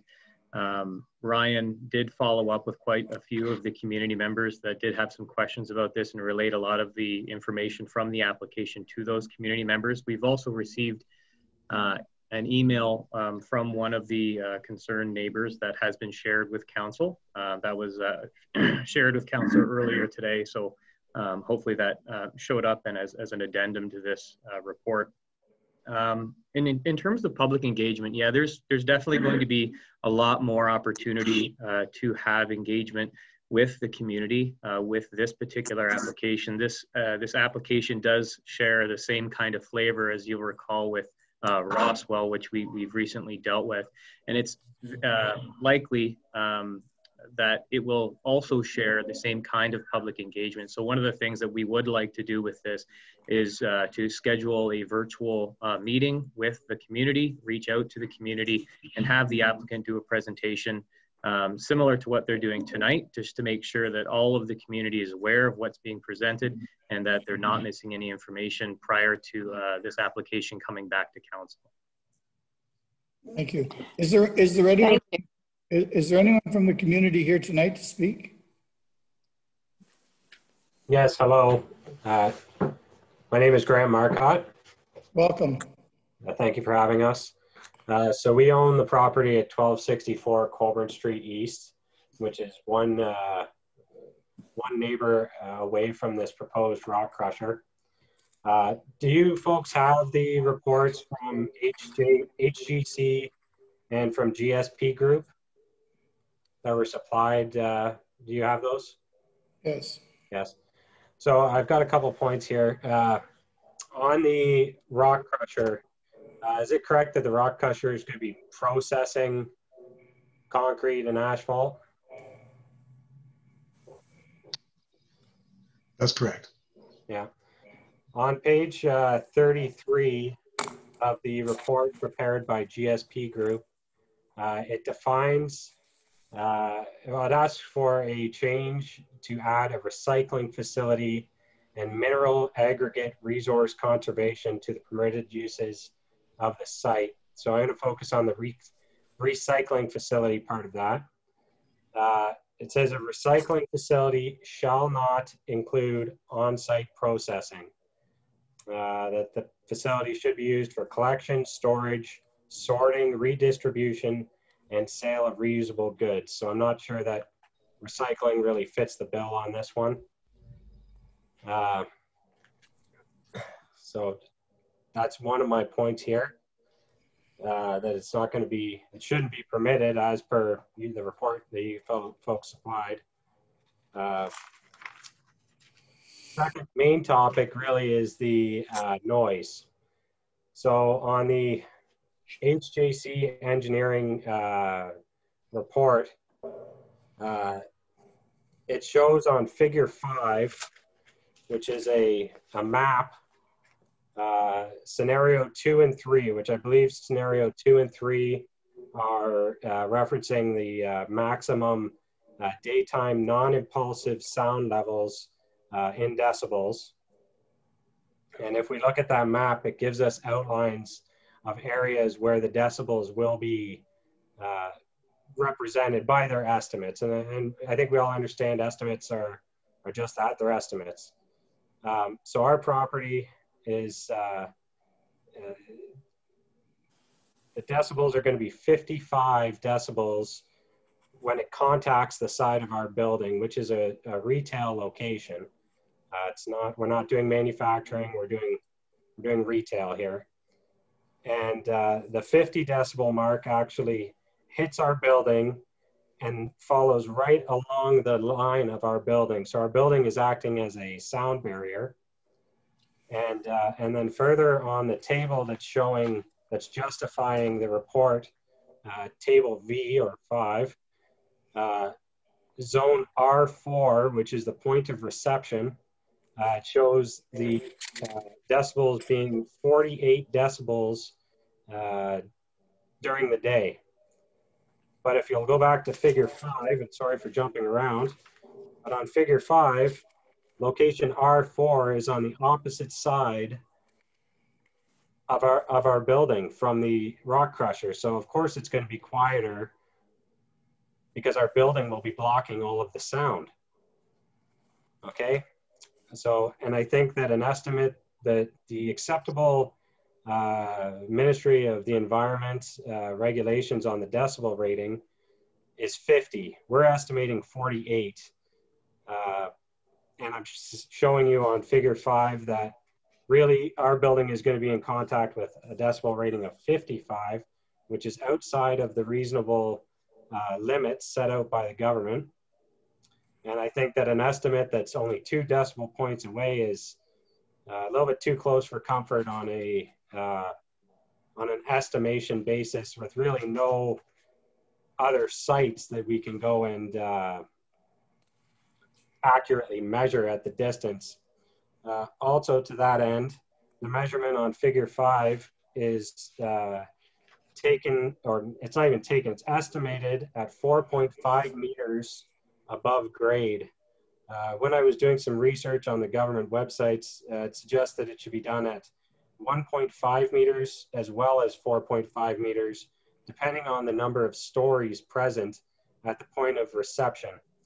I'll also note that our business does inside and outside business and that it's our property and that the outside of our business is going to experience much larger portion of 55 uh, decibels of estimated uh, sound pollution, really.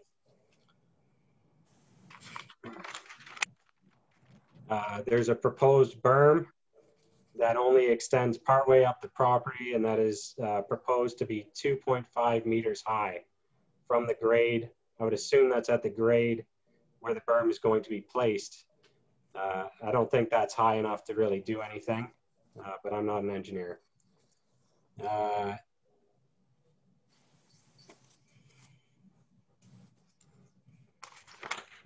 uh, the dust. So the dust is a main concern, and I know in talking with other uh, neighbors and with um, doing a little bit of research on the dust that's produced from grinding aggregates and different rock, uh, that there's a potential for uh, pollution in the form of the silica dust. Uh, so I, I, think that and asbestos potentially. Uh, I think that that really needs to be addressed, and I'm not convinced that a um, two and a half meter berm is going to somehow dissuade the dust from reaching uh, people outside of the property zone. Uh, another concern that we have is that uh, you know we have uh, we run a, a, going concern of a business here. It's uh, we see um, thousands of people annually, or deal with thousands of people annually, and we feel it'll affect our business operations and potentially our property value. And I've brought this concern up to the planners, and uh, they've indicated that that is outside of their scope. And so I would like to ask uh, why that's not being considered and whose scope it's in.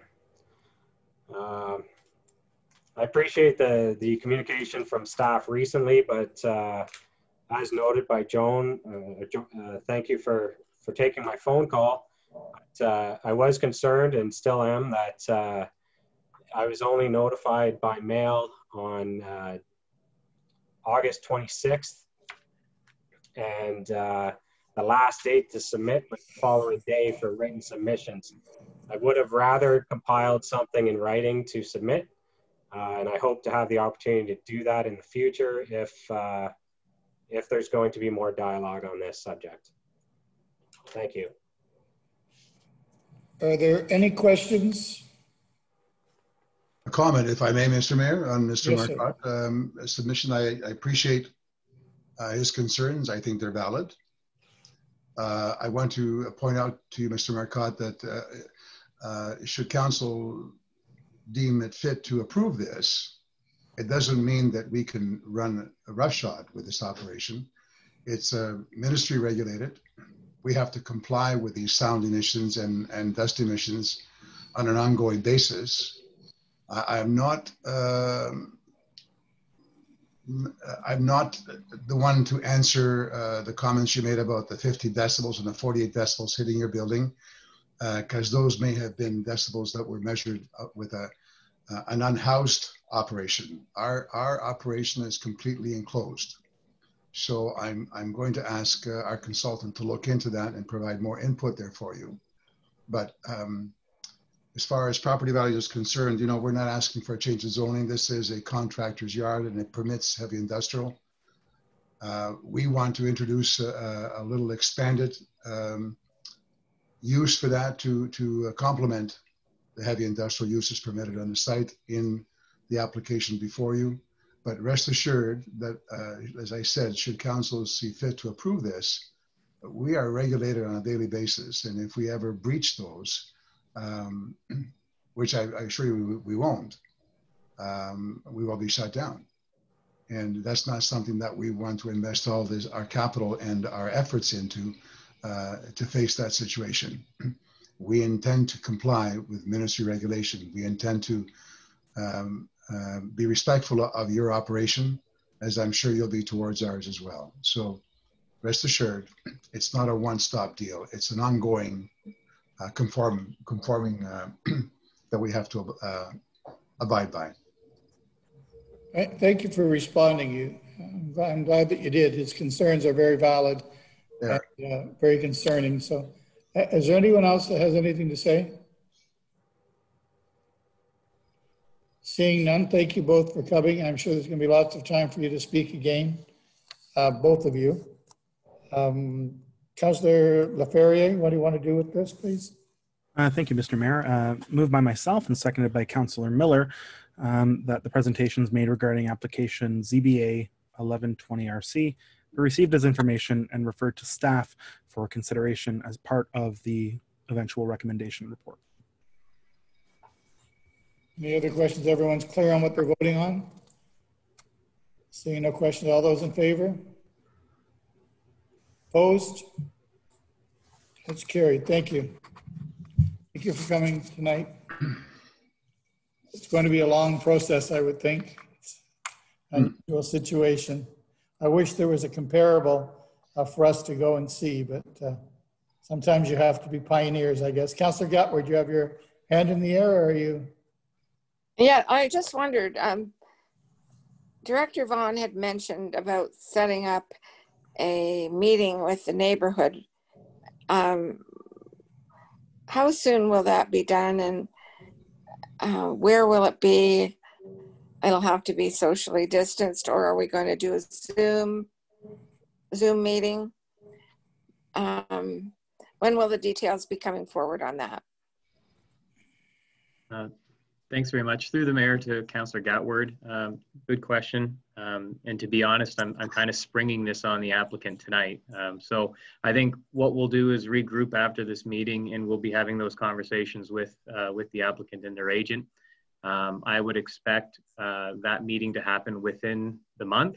Um, you know, we have certain timelines. Uh, this is a zoning bylaw amendment, so we have certain timelines, 90 days in order to render a decision. So um, you know, we, we do have some time, which is great, um, but uh, we do want to respect those Planning Act timelines. So I would say we'll be having that meeting within the month. The details of that meeting likely they will be it will be a Zoom call similar to what we had with uh, Roswell, and um, I, that that seemed to be a pretty functional way of um, relaying the information to the community, and um, it, it seemed to clear up a lot of concerns and questions that the community around Roswell had. So we're hoping to employ a similar technique there.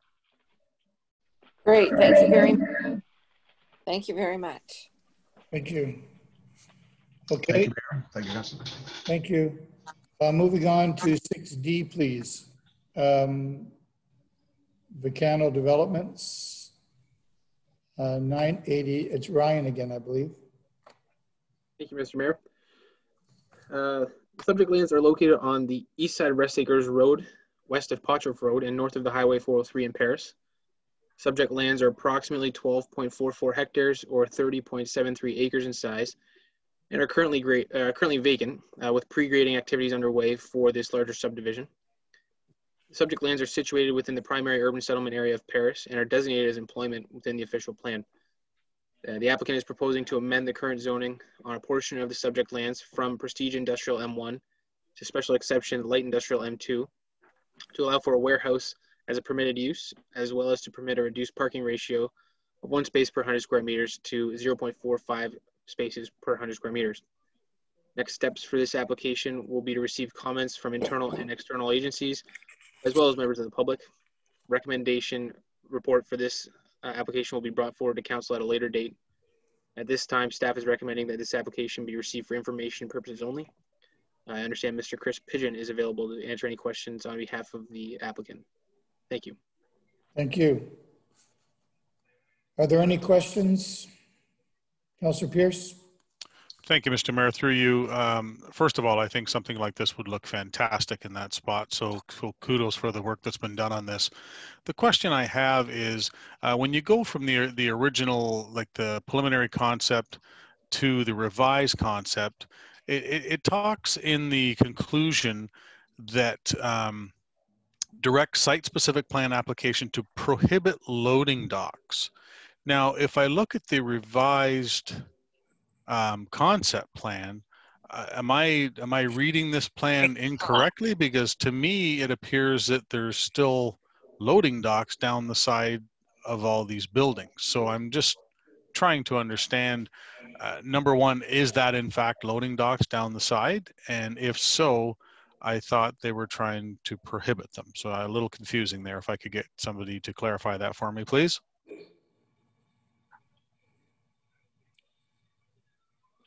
Who's going to clarify that for Councillor Pierce? Mr. Mayor, uh, I can clarify that. Um, I believe in the applicant's submissions, and also I, I, believe in Mr. Pigeon's slides that, that were a part of this addendum. It clarifies that the loading docks uh, will be prohibited from being uh, viewed uh, from the Highway 403 corridor. Um, and again, I'd ask Chris to elaborate on this within his presentation because I think this is a key part of this application is that we're trying to maintain um, an aesthetically pleasing product here from the highway. This is a premier industrial park uh, within the county, and it's important to to to protect that um, that aesthetically pleasing uh, facade along the 403 corridor. Um, so what you'll see, and I, am not sure, um, the most up-to-date plan we received was as of last week, and Dan's dealing with a site plan application uh, concurrently as well. And so I apologize uh, if the most up-to-date plan is not included, but um, what we'll see is that the uh, that the loading spaces would be located uh, away from the 403 corridor and from the view of the traveling public along the highway. And again, if I if, if Chris could just comment on that um, in the context of, of his presentation as well. Thank you. Thank you, Councillor Miller, please. Thank you, Mr. Mayor. Uh, through to Ryan. Ryan, um, currently, I think in your report you said the lands are zoned M1, M2, and M1, M2. Um, doesn't allow for warehouses, um, which hence that's why they come before planning. Why is that? Do, do you know? Thank you, Councilor. Uh, through you, Mr. Mayor. Um, to clarify, I think it's important to note uh, there is a split zoning on this property, um, and I wish I could show it quickly here for the benefit of the committee, but I'll, I'll certainly make sure I delineate that within my report. There's split zoning on the site, um, and it was intended within the original zoning that was put in place on this block in the subdivision for the um, the southerly portion of the site facing the 403 to be a prestige industrial zone. And there's very limited number of uses that are uh, that fall within the realm of uh, prestige industrial. That includes offices, uh, hotels, and, and, a fairly short list. It doesn't include warehousing. Uh, the rear portion of this property, or I suppose to the north, uh, does permit warehousing within the M2 zone. Um, there is a limited list of permitted uses in the um, uh, in the site-specific zoning, but what the applicant is proposing to do is to revise the zoning uh, as a whole for the site uh, to permit the warehouse to be used uh, for the entirety of the site. So again, the M1 Prestige Industrial applies to a strip to the south of the lands um, and uh, uh, and that that what they're looking to do is to amend that M1 zoning to an M2, a site-specific M2 to permit warehousing, um, so that the entire site can be used for that purpose. Um, if I could, Mr. um, you to Ryan. Thank you for the detailed answer, but I still didn't get why um, why they weren't included in that zoning in the first place. Oh, okay. I, through Mr. Mayor, I apologize. Um, the the intent within the zoning again. Uh, now, I, so I wish Mr. David Mark Davidson was here to speak to it um, at the time that he wrote his report. But um, the intent was to maintain a prestige industrial use along the corridor, highway corridor, or the facade of the highway corridor. And that's why there's a fairly limited M1 zoning strip along the southerly portion of this property um, to maintain that prestige look and feel. And the intent here, uh, through consultation with the developer, is that we will we can work with them to get the warehousing component permitted uh, through this zoning application. What we were hoping for and what we think we've come to, we're working through a very good uh, process with them, um, is to maintain that prestige industrial look and feel of the building um, while still permitting the warehousing use, which is their their end goal. Um, so again, I, I historically uh, through the subdivision approvals, it was intended for a prestige industrial um, uses to be along that southerly portion. Uh, we're looking to amend the uses and still maintain that uh, prestige look and feel of the building.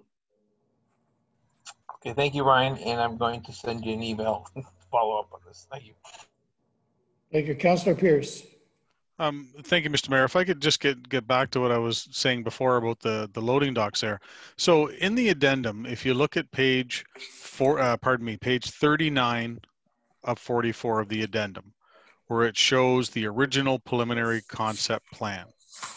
Okay, that shows me that there was a warehouse there and all the loading docks were in the back on the north side. Okay, now we've changed the concept of it.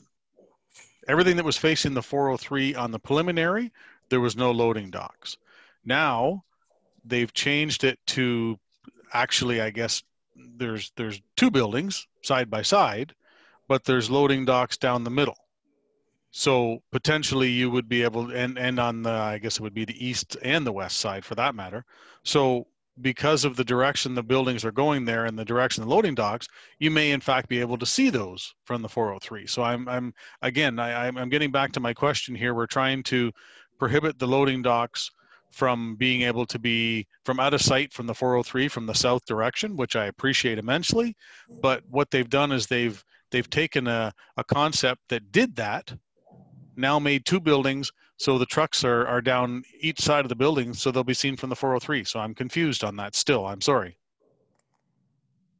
To you, Mr. Mayor, if I may, um, again, uh, uh, to clarify, when we look at the revised plan that, and uh, this this did come to us on, uh, I believe it was Friday. Um, and so the original preliminary concept plan, when we speak to the term original, that's not original to the subdivision plan. That was original to the application that came in uh, last month. Um, okay. And so the new revised plan that we're seeing on page, I believe it is uh, 39, I apologize, 42, um, is, is, the, is the latest concept plan that the applicant has come back with. I would ask Chris Pigeon to, if he could speak to that. Um, it, it would be staff's priority and preference to maintain that look and feel from the highway, and we've made that clear to the applicant since the beginning of this uh, proposal, uh, sorry, the beginning of this process for the zoning application. We would like to work with them uh, and find a way to get this um, the warehousing uh, in this uh, you know going on this site. Um, there is opportunity to use um, both landscaping and topography to hide um, loading spaces from, or at least uh, obscure the view from the highway. Um, but it was the intent, from my understanding, from the original submission, uh, to have the uh, loading docks screened from the highway. So I, would like to have the applicant speak to that as well. My apologies. And, and just to, if I could just respond to that, Mr. Mayor, um, and and yeah, I'm looking at at page 42 there, Ryan. So if that's the most recent one, I think we're we're both looking at the same at the same drawing here. That to me, uh, potentially you're going to see the loading docks down because the loading docks are are running north south. You're going to be able to see them from the highway. So uh, again, I, I would prefer not to be able to see them as well, but uh, I'll I'll wait to see what else comes out of this. Thank you. Thank you. Councillor Bell? Councillor Bell? Yeah, thank you, thank you, Mr. Mayor. Uh, through you to Ryan.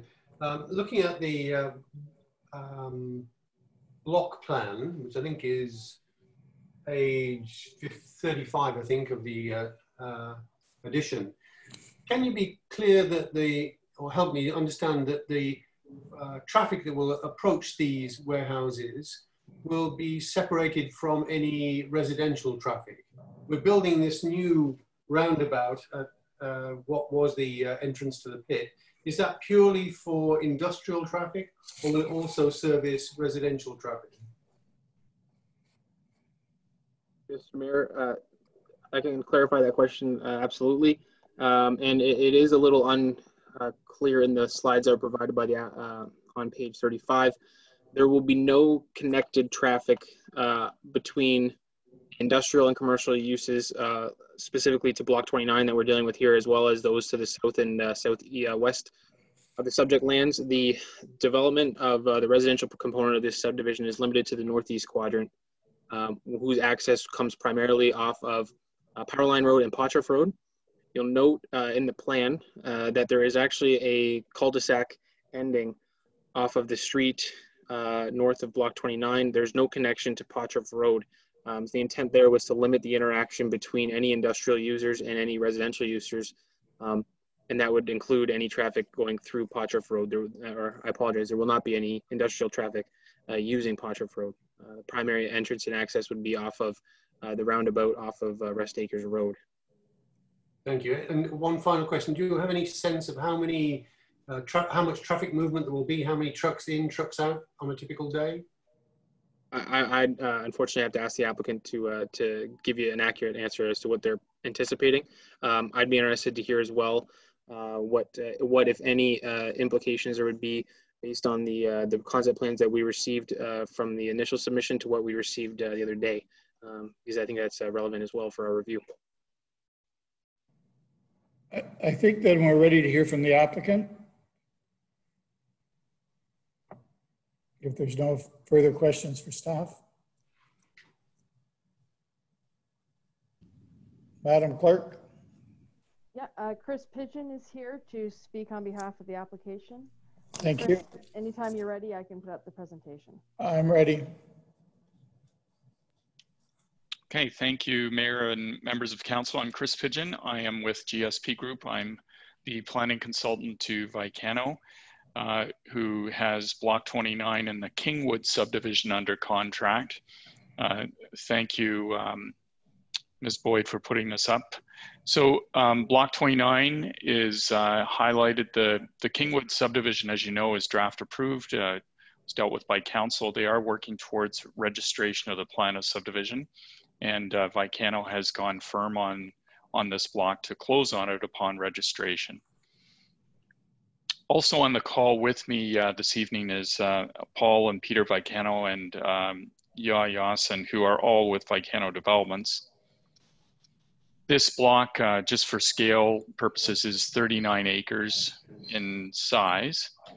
Um, so a very significant block, and it takes its access, as uh, was indicated via the cul-de-sac, with direct access then out to uh, Rest Acres Road. We did we did do a traffic study, and I'll uh, at the conclusion now of my brief presentation, I'll give you some of the uh, traffic volume numbers. Next slide, please. So just to explain the split zoning, so block 29 has an M1, the Prestige Industrial, and it's a 70 meter depth off, off of Highway 403. And then the M2 zone, the light industrial zone applies to the, to the majority of the block, so the balance of the block. And it has a site specific exemption to permit a truck transport terminal. And, and my understanding, because we, GSP Group did the uh, Kingwood subdivision and the rezoning application on behalf of Kingwood.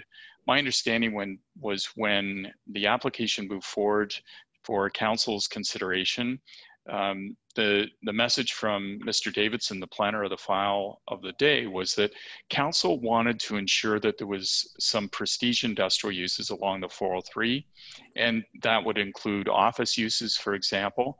And this is, of course, the gateway to Paris. And on that basis, they split zone the property. Unfortunately, it doesn't work for a, a large user that Vicano has in mind for this block in that um, they need warehouse across the entire property, thus the, the application for the M2 zone, albeit that what we're asking for in terms of site-specific zoning is that the, the prestige industrial look of the building is maintained through those regulations that we've asked for. Next slide, please.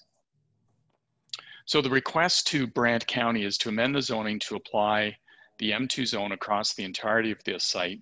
And this will permit a warehouse distribution center. Um, it is a request for parking reduction for warehouse only. In other words, the general parking standard of the County of Brant will continue to, to apply to any and all other uses outside of warehouse. So this is a reduction only for warehouse parking.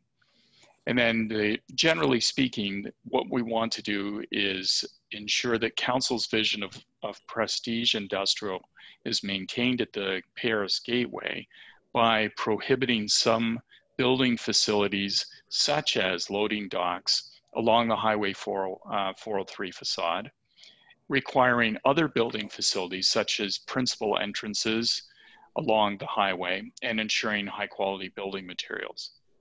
Next slide, please. So very specifically, the regulations that we have applied for, for Block 29 is, uh, are, number one, that loading docks are prohibited along the south facade of the building facing the 403. Number two, that the leasing units that face the 403 ancillary uses, such as offices, have to be facing the, the Highway 403 along that south facade that there be a minimum of one principal entrance required within that south facade, that it not be a blank wall, that there be a principal entrance with our articulation and architectural features to, uh, to identify it as a principal entrance. And the, the fourth uh, is to ensure that the, the minimum facade width of the building, in other words, if you were to look at the overall width of block 29, that at least 50% of the building width is within that width of the building. So in other words, we don't want a, a long, narrow building with a, a, whole sea of, of asphalt and, and uh, parking areas. We want uh, over 50% of the building to be visible from that south facade, so from Highway 403.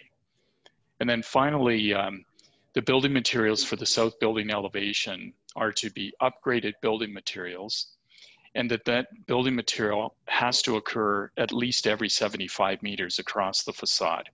And those upgraded building materials include materials that have like a reflective quality, including spandrel and glass, aluminum, aluminum composite panels, ACM panels, uh, insulated metal panels, so IMP uh, decorative panels, and decorative stone or block. Next slide, please.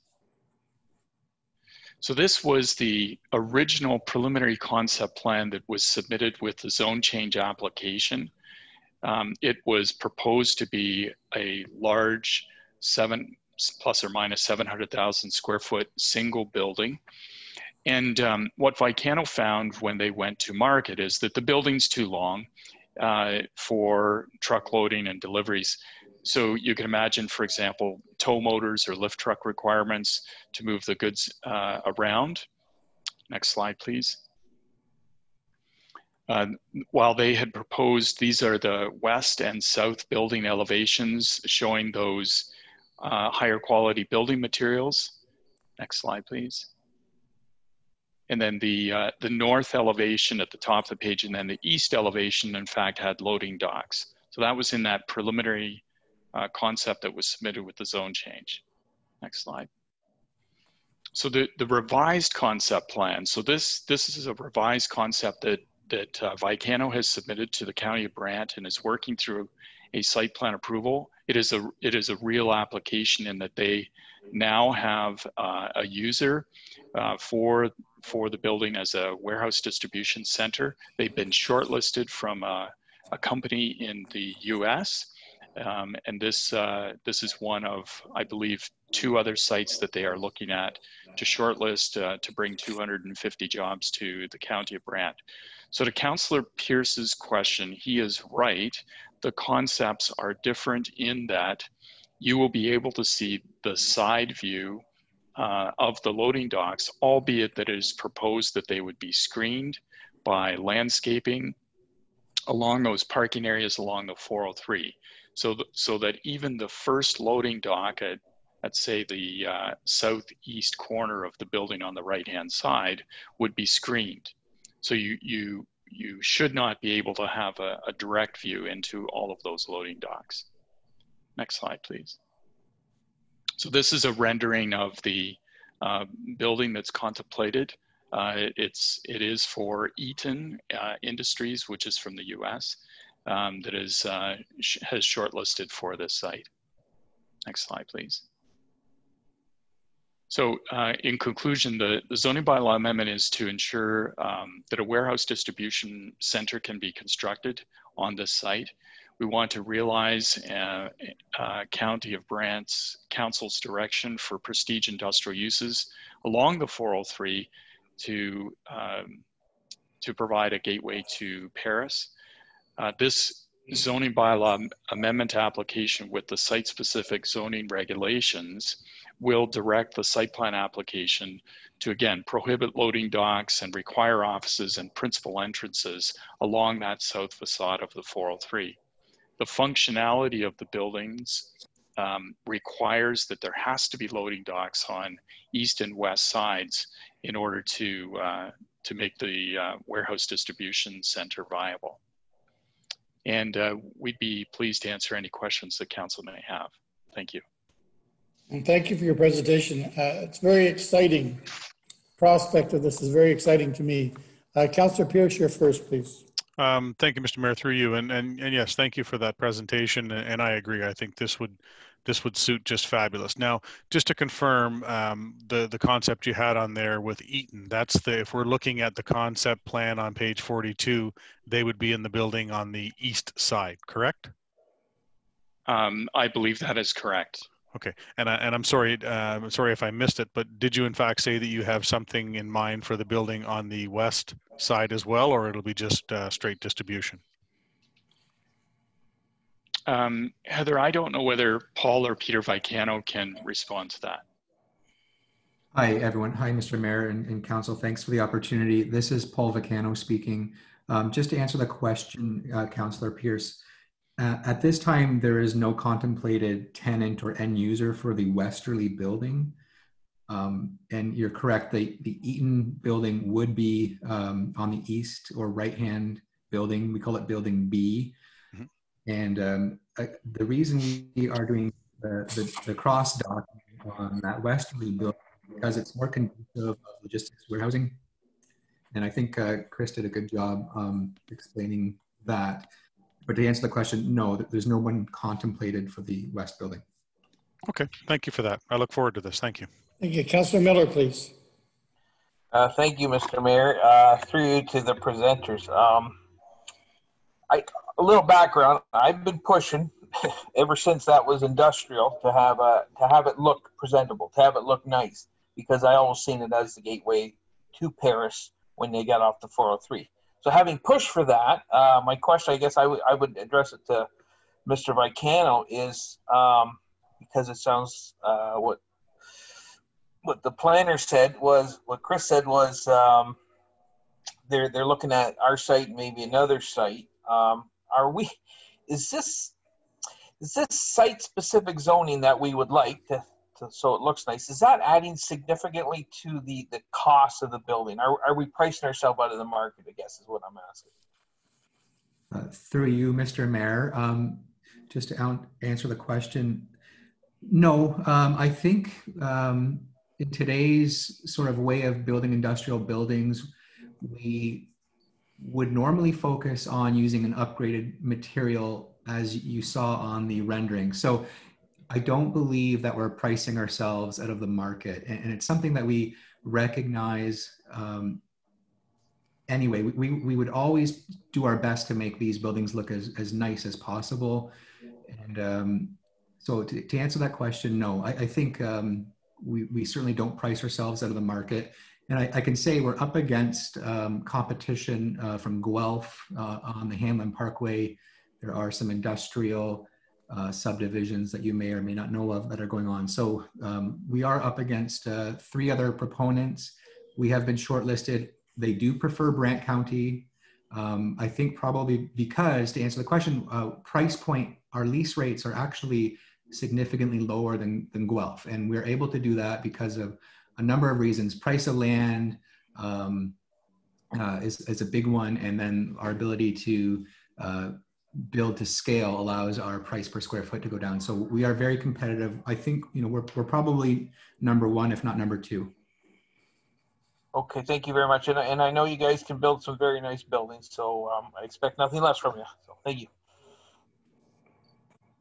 To, to your point, Councillor Miller, I think the Vicanos have figured out a long time ago that it's uh, it's a good idea to make beautiful buildings and you get better tenants and tenants that last longer and stay longer.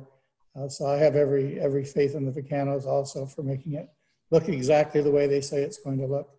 Are there any other questions to the presenter or to applicant? Councillor Howes? Uh, thank you, Mr. Mayor. Through you to the uh, applicant, uh, probably to Mr. Pigeon, I guess. My curiosity question, at first I'll say, yeah, I agree this is an exciting opportunity from an economic development standpoint. This is exactly the kind of uh, project we like, we like to attract to our county. Um, you got my attention at 250 jobs. That's always good to hear. Um, my question is with 250 jobs, can you explain the the detail about reducing the number of parking spaces? It seems like a significant um, reduction from from what's intended. Uh, and I just wondered if you could explain that detail. Thank you. Yeah, sure, sure. Through um, Mr. Mayor, in response, so if this, in combination of this building is 700,000 square feet, uh, the, the, which equates to, let's say 65,000 square meters. So if you take um, 250, uh, 65,000 divided by uh, 250 jobs, that equals uh, 260 square meters per job. And, and we're proposing something less than that, which is uh, 215 square meters per parking space. So as you can appreciate, as a general manufacturing business of 700,000 square feet, the, the employment numbers would be higher. I think it is worthwhile noting that a warehouse distribution center, while those are direct jobs, 250 jobs, there are additional jobs, as you can appreciate, through trucking operations. And I, I failed to give you these numbers, but I, I will give them to you now. So we did a traffic impact study as a part of the submission for the zone change. And we projected uh, traffic volumes of up to uh, 1,600 trips. So that's uh, both employee and truck trips in the AM and, and PM peak hours. And, uh, you know, that's a significant truck vo uh, volume. And uh, that shows uh, the indirect employment numbers in addition to those 250 employees. The, uh, while I'm on that, uh, the, the traffic impact study evaluated three alternative scenarios for road improvements, and it was concluded that, that no further road improvements would be required um, with the, the program that's in, in play right now with MTO for the various road improvements and the roundabouts. Thank you. Are there any other questions to Mr. Pigeon and or either of the Vicano boys? Councillor Gatward. Councillor Gatward, you have to take yourself off mute. Thank you. Thank you. Um, it's more of a comment, Mr. Mayor. I've been um, wanting to see some more industrial um, properties developed in our county. I'm very pleased that we're finally starting on the other side of the road. Um, and I have seen many Vicano builds, and in my opinion, they make wonderful buildings. So I believe this will be a, a great addition to the county and to this gateway location in the the um, county of Brant. I certainly hope that we can get our comments moving and accommodate the timelines for this application so that we can land this um, new business in our county. Thank you. Thank you, Councillor Gatward. Any other comments? Seeing none, um, Councillor Chambers, what would you like to do with this? Uh, Mr. Mayor, it's moved by myself and seconded by Councilor McAlpine that the presentation be received and uh, be uh, staff for uh, uh, further consideration and uh, for their next staff report, which will be at our next meeting. Thank Hopefully. you, Councillor Chambers. Everyone's clear on what they're voting for. We're going to receive this. All those in favor? Opposed? Carried. Thank you for your presentation, Mr. Pigeon. Thank you for the Vicanos for taking the time to speak to us tonight. Thank you, Council. Very excited, very excited. Thank you. Seven A is uh, 365 Robinson Road. And Ryan, you're also going to be speaking on this uh, application. Mr. Mayor. Uh, the subject lands are located on the north side of Robinson Road, east of Cleaver Road in Burford. Subject lands are approximately 22.23 hectares or 54.9 acres in size and are surrounded by agricultural uses to the east, north, and west. To the south and as well as the west of the subject lands is a cluster of established residential lots along Robinson Road. The subject lands are designated in the official plan as agriculture, natural heritage, and rural residential. The applicant is proposing to amend the zoning on a portion of the subject lands to allow for future severance of two residential lots. The area to be rezoned is approximately 1.43 hectares or 3.53 acres. The applicant has also submitted a severance application for the proposed lots, which will go to the Committee of Adjustment following a decision by this committee on the rezoning application. The applicant is proposing lots of approximately 0.7 hectares or 1.72 acres with frontages of approximately 45 and 48 meters respectively along Robinson Road. Staff is of the opinion that the that the zoning bylaw amendment has merit as it is consistent with the provincial policy statement and conforms to the general intent of the growth plan for the Greater Golden Horseshoe and the County of Brant's official plan. Staff is therefore recommending that this application be approved. I understand Mr. Bob Phillips is available to answer any questions as well on behalf of the applicant. I'd be happy to answer any questions as well. Thank you. All right. Uh, Are there any questions, first of all, to staff? Seeing none, um, Mr. Phelps, you have a, you have a presentation? Uh, no, I don't, uh, Mr. Mayor. Uh, I think uh, Ryan's done it uh, very well, and I'm just here to answer any All right, uh, questions you you. might have. Thank you for taking the time to be with us tonight. Are there any questions to the presenter and to staff? Seeing none, Councillor Howes? Thank you, Mr. Mayor. Uh, moved by myself and seconded by Councillor Bell that application ZBA 15 slash 20 slash RC from Young Brothers Farms Limited, uh, care of Brenda Ryder for property located at 365 Robinson Road be approved as outlined in the staff report. Thank you. Everyone's clear. No other questions? Seeing none, we'll call the vote. All those in favor? Opposed? And carried. Thank you very much. Thank you. Thank you. Um, B, 43 Princess Street in Glen Morris. Uh, Amanda, you're going to speak to this. I am. Thank you. Through you, Mr. Mayor. You're still here, Amanda. I am. Thank Yeah. thank you, thank you for coming early and staying late. You're welcome. Uh, through you, Mr. Mayor. The purpose of this application is to rezone the subject lands from minor institutional to special exception residential hamlet to permit additional land uses, clients, and employees in a residential home occupation. The application, the, sorry, the application was originally presented in 2012 and was presented again for information in February 2020. Based on staff's understanding, the applicant is seeking to permit a home occupation, specifically including a culinary school, instruction of arts, including meditation and martial arts, and all other home occupations as defined in the zoning bylaw. The applicant is specifically, specifically requesting to permit a maximum of 12 customers and clients, whereas the zoning bylaw only allows two.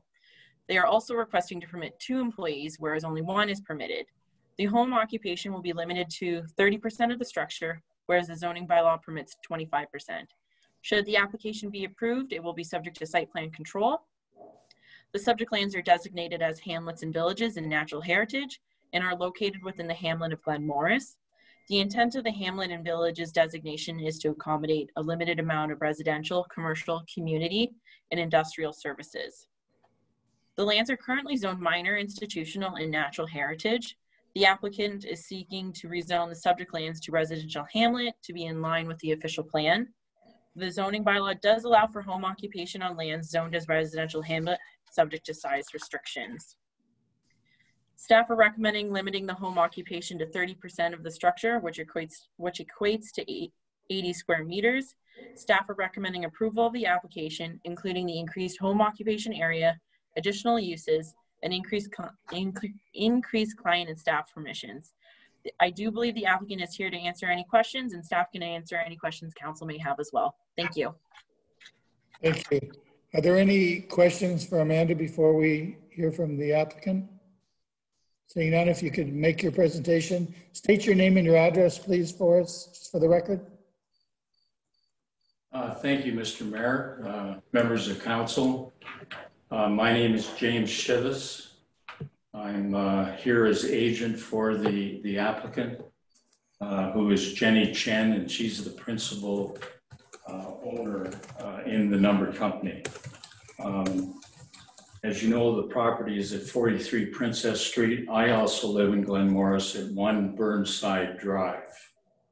Um, the applicant is surely appreciative of the planning report conclusions uh, that the proposed uses are appropriate in a number of ways. Um, I don't uh, intend to uh, make any long presentation. In fact, I'm really here to answer any questions that the members of council might have. And um, I'll leave it at that if I may. Thank you. Are there any uh, members of council that have questions to the delegation or the applicant? Seeing none and hearing crickets again, uh, I will I will say um, that I'm also from Glen Morris and I know the property that you're speaking of. I think it's nicely tucked away, and I've talked to the residents in Glen Morris, and they're very excited to see it developed. Um, I think it's a it's a good good thing to do to that piece of property. And uh, so, with that being said, if there's no other questions, um, Councillor Miller, you would like to take this on? Thank you, Mr. Mayor. Uh, moved by myself, second by Councillor LaFerriere, that application ZBA 14 dash or slash 12 slash MD from James Shivas, agent for 1823927 Ontario Inc. for property located at 43 Princess Street be approved as, as outlined in staff report RPT-20-91. No other questions? Everyone's clear? Call the vote. All those in favor? Opposed? Carried. Thank you. Number eight. Jessica. Hello. Good evening. Good evening. Do you, you have updates for us, policy updates? So staff are here this evening to answer any questions that council or uh, any member of the public may have regarding the on-farm diversified use project that we're hoping to initiate after this evening. Thank you. Brendan's there too?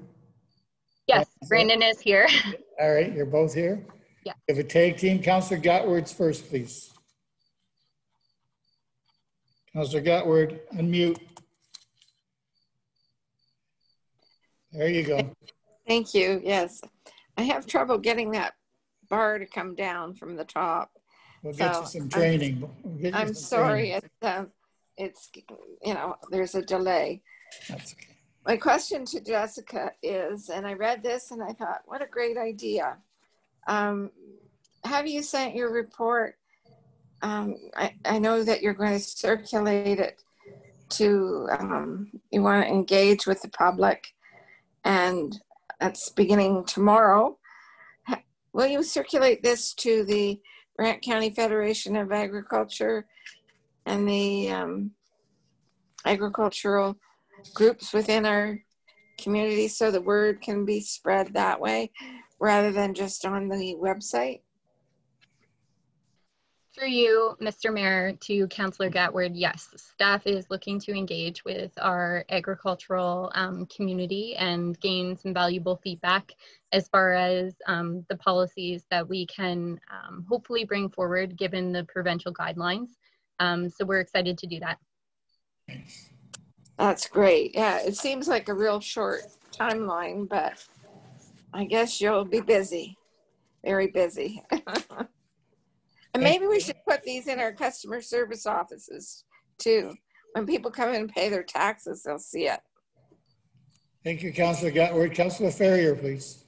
Thank you, Mr. Mayor. Through you to staff. Uh, thank you so much for this report, and uh, I think it's great. Um, but my, my question is, I know there are some farms in our community that have um, started a process uh, around um, creating spaces and buildings and then paused it because uh, basically waiting for this report and for council to make a decision on what to do about these other uses.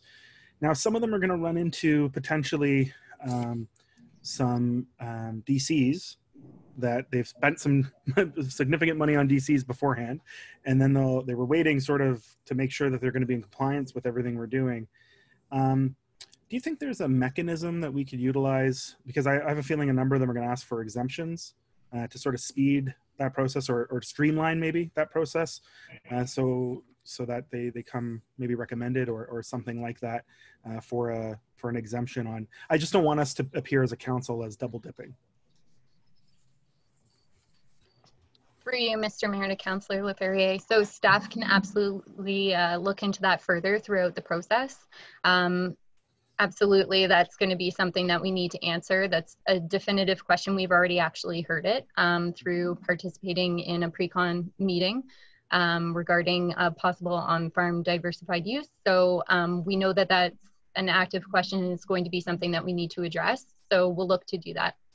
Thank you. And, and I just, I think because uh, with COVID, uh, especially, I think a lot of folks in the less rural areas of the county have been discovering uh, food fresh farms, uh, farm fresh foods. Uh, and uh, I, I, think this is very, very welcome in, in all regards, but the timing of it is just um, stellar considering what's been happening uh, locally and worldwide. So thanks again. Any other questions for Brandon or Jessica? Uh, Councillor Miller, please. Not sure if my internet's working. Um, thank you, Mr. Ray. Uh, through you to Jessica. Um, I'm just looking at the frequently asked questions. And it says in there, did you know that the um, agricultural land the county of Brant is over 600 kilometers square and says that's 10 times the size of Prince Edward Island. Um, that's not true. um, so I was wondering if uh, you guys could fix that. Prince Edward Island is 5,660 square kilometers. Wow. what's that? I was just about to say, through you, Mr. Mayor, we can definitely take a look at that um, that fact that was included on the uh, the glossy handout for the OFDUs. We can definitely take a look at that. Uh, I will. Somebody wasn't doing their job. Um, I've been to PEI. I've driven around. Trust me, it's it's, it's a lot bigger than than that.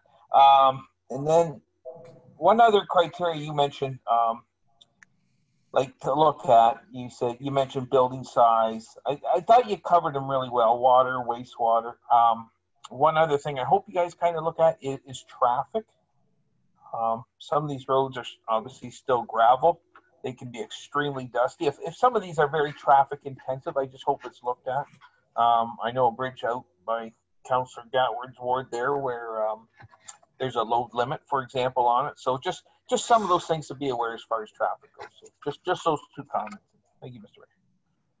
Thank you. Councillor Wheat? do you have your hand up? No? Okay. Councillor Bell?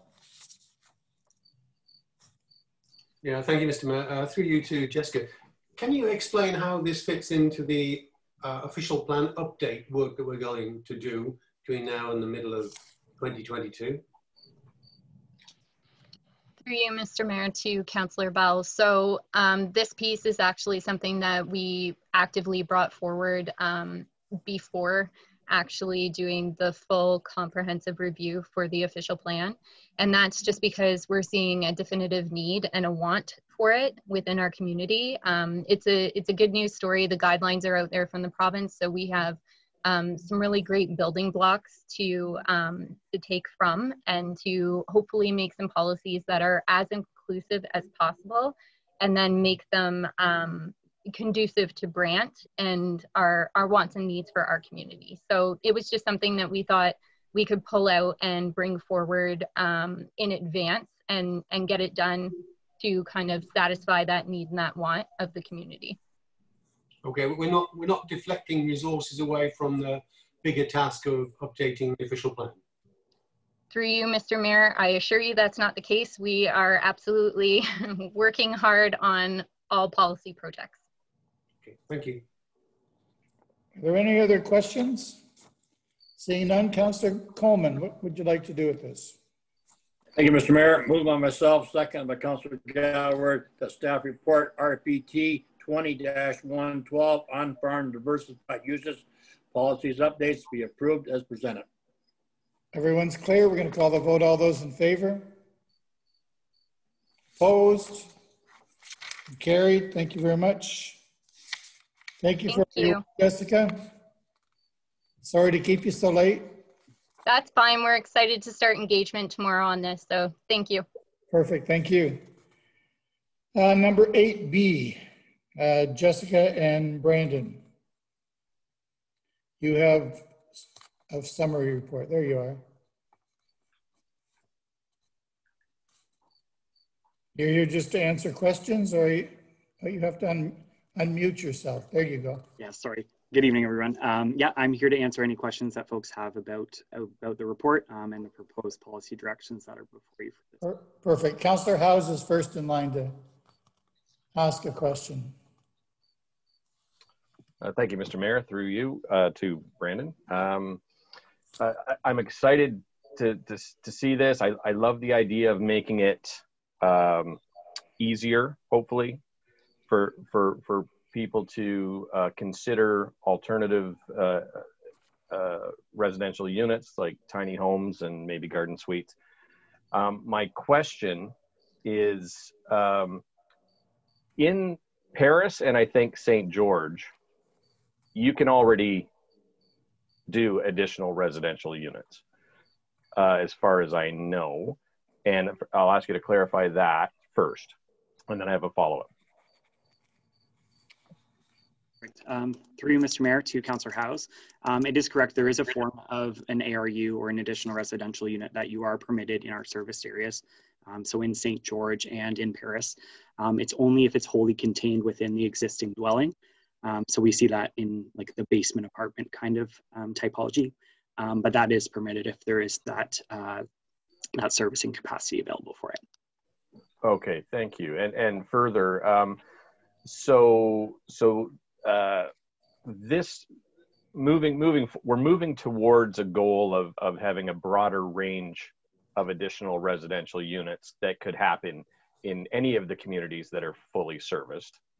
Um, and and I so, so that's that's good news. I I I think um, I think there we may have a perception issue a little bit with the public in, in that that people don't necessarily understand what you could do already and and what you know, might be able to do in the future and and uh, also kind of the complexities that are involved in, in, in all these these respects. I I have full confidence that that your department and our communications department will will will have a uh, uh, a robust approach to, to making sure people understand the, the new vision. Um, my last question is specific to the parking side of it.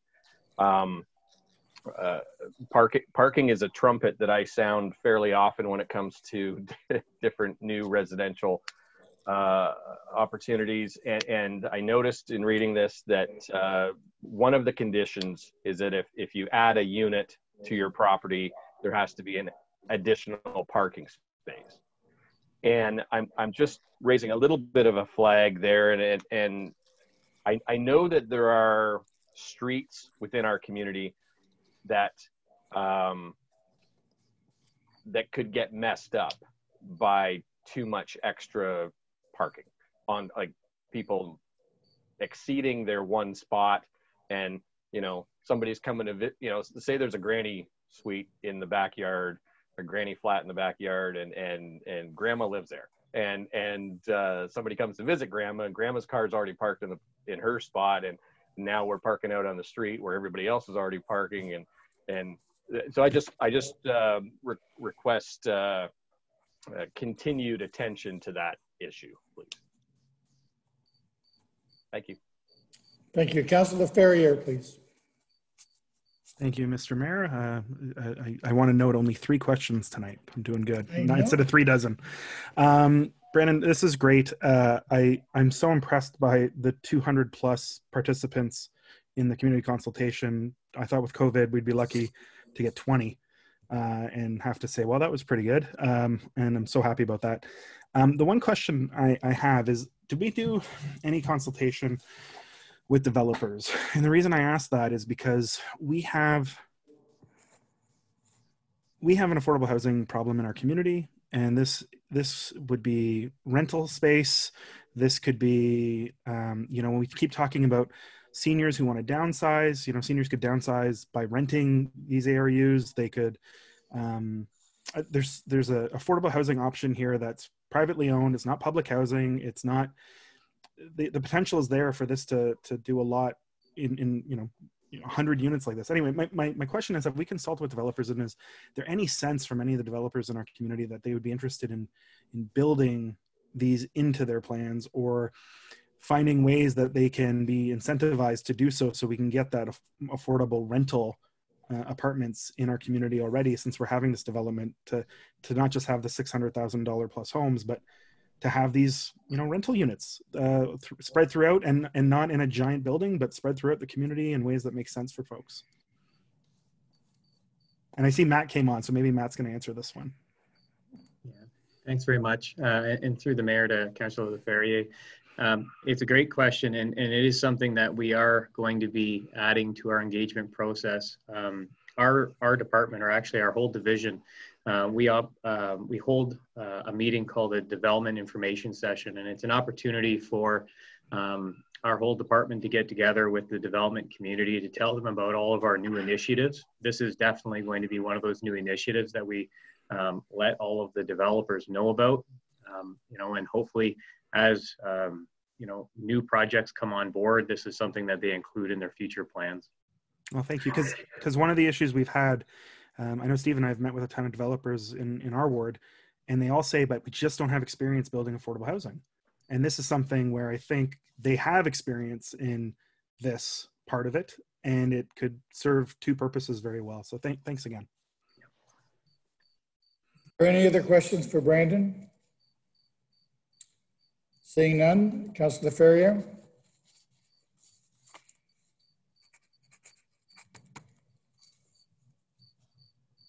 Thank you, Mr. Mayor. Um, let's see, 8B. Uh, moved by myself and second by Councillor Wheat that staff report RPT 20 uh, 114 feedback summary report additional residential units ARUs policy updates be received as information. Well, thank you. Everyone's clear we're receiving. All those in favor? Opposed? Carried. Thank you. Thank you, Brandon. Uh, Jennifer, 8C. Hello there. There you go. You just jumped over there. You're still here. Good evening. Good evening. Now, do you have a presentation or you just want to answer questions? Uh, I'm here to answer questions, Mr. Mayor, and just outline the new official plan, revised consultation and engagement initiatives. Yep. Um, as indicated last month, I'll be coming every single month to update you on the official plan. And this is just to tell what we're doing for our engagement platform as everything was canceled in the spring. So we're eager and excited to move forward with everything. It just outlines everything that we're doing and also our day-to-day work in the background. So if anyone has any questions, I'd be pleased to answer them. How's, how's our morale doing? Is there, is everyone still hopeful and, and, uh, Uh, yeah, there's, there's. We're great. Uh, there's a bunch of us that are in the office full time and Yeah. others continue to work remote. Um, but we are an integrated team and I think we're doing very well. So Thank you. Uh, that's, that's good to hear. Are there any questions for Jennifer? Uh, Councillor Howes? Uh, Thank you, Mr. Mayor, through you to Jennifer. Um, And this, this may be somewhat for the benefit of, of people who might be tuning in to, to watch this meeting. But I, uh, this is exciting. Um, and uh, I, I just wonder, and, and I, I know there's some elements of this in, in your report, but I, I worry still about us not reaching the the people in our community who, who are not particularly electronic communication oriented and and I, I notice in section F uh, of, of the third page of your report, you know, properly advertising events in various mediums, mailing lists, email, social media. I'm just, I'm wondering if you could speak a little bit more about steps we're taking to to engage the folks who are not on Facebook, the folks that don't go to the website. Um, how do we get their attention? You know, I've seen the county uh, rent billboard space, and, and I think that's great. And I've seen us do portable signs, but I'm just wondering, this is such an important project, and it's going to be an important plan. I, I just, if you could speak a little bit more about how we reach those folks. Thank you. All right, thank you, Counselor. Uh, through you, Mr. Mayor, to Counselor Howes. So that's definitely been a challenge with putting forward a virtual engagement platform. And all of us in the county are dealing with that with different projects. So we're trying to be as innovative and flexible as possible. And this has been a challenge trying to uh, look at how to engage people because as you know, you see tonight, even with technology, that it's not going to be easy. So we've got a bunch of different initiatives that we had already planned on prior, and we think that some of them will still work. I mean, we had talked about going to fairs, at booths, um, going on the street, so and also putting up at posters at hockey arenas. So things have definitely changed, and we're trying to be as loose and flexible as possible. So we're still renting the billboards, we're still putting up the virtual signs. Um, we're going to have radio ads. Uh, we're even thinking of going door to door, putting flyers. And for those who don't want to go online, because that's going to be based on the majority of our platform with surveys, is there's always paper. And you can always drop it off because we do have many guests coming to our office at the Paris uh, customer service office every day. Um, so people are pleased always to drop in. So we'll have those things available for people that would prefer more of a hard copy platform. We are always available all day taking calls. I get emails and all of our staff do every day. So the telephone's also a great a great way to get uh, communication and we do encourage that as well. So we are trying to be loose and flexible and um, reach out to as many community members that um, because of public forums we won't be having um, to do that. So we need to go to them and obviously socially distancing uh, during COVID, but we are aware of those uh, those issues, but thank you. Thank you. Any other questions? Councillor Gatward? Thank you, Mr. Mayor. Just to something Jennifer mentioned um, about putting up in the hockey arenas. Well, we just passed um, a motion, so the hockey arenas are going to be reopening soon um, as part of stage three and beyond. So you may still be able to do that and reach a lot of people that way. Grandparents that come to watch hockey, their grandkids, parents that don't have time to surf the web and the county website. So that's a great idea, and I'm glad we're going to try to reach everybody. Thank you. Thank you, Councillor Gatward. Councillor Bell, please. Yeah, thank, thanks, um, Mr. Mayor. Uh, through you to Jennifer. Uh, Jennifer, I see you've got four events in uh, October, uh, two, two, two uh, weeks of back-to-back uh, events. I, I, hope the uh, public can can accommodate that that pace. It's quite a pace you're setting there.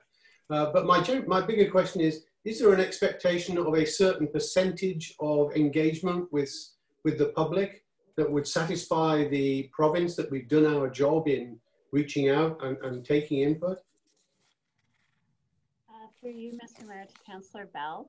Um, in essence, in terms of an official plan, really the type of engagement that we have to do that will satisfy the Planning Act for the new official plan is actually under Section 26 of the Planning Act for statutory public meeting.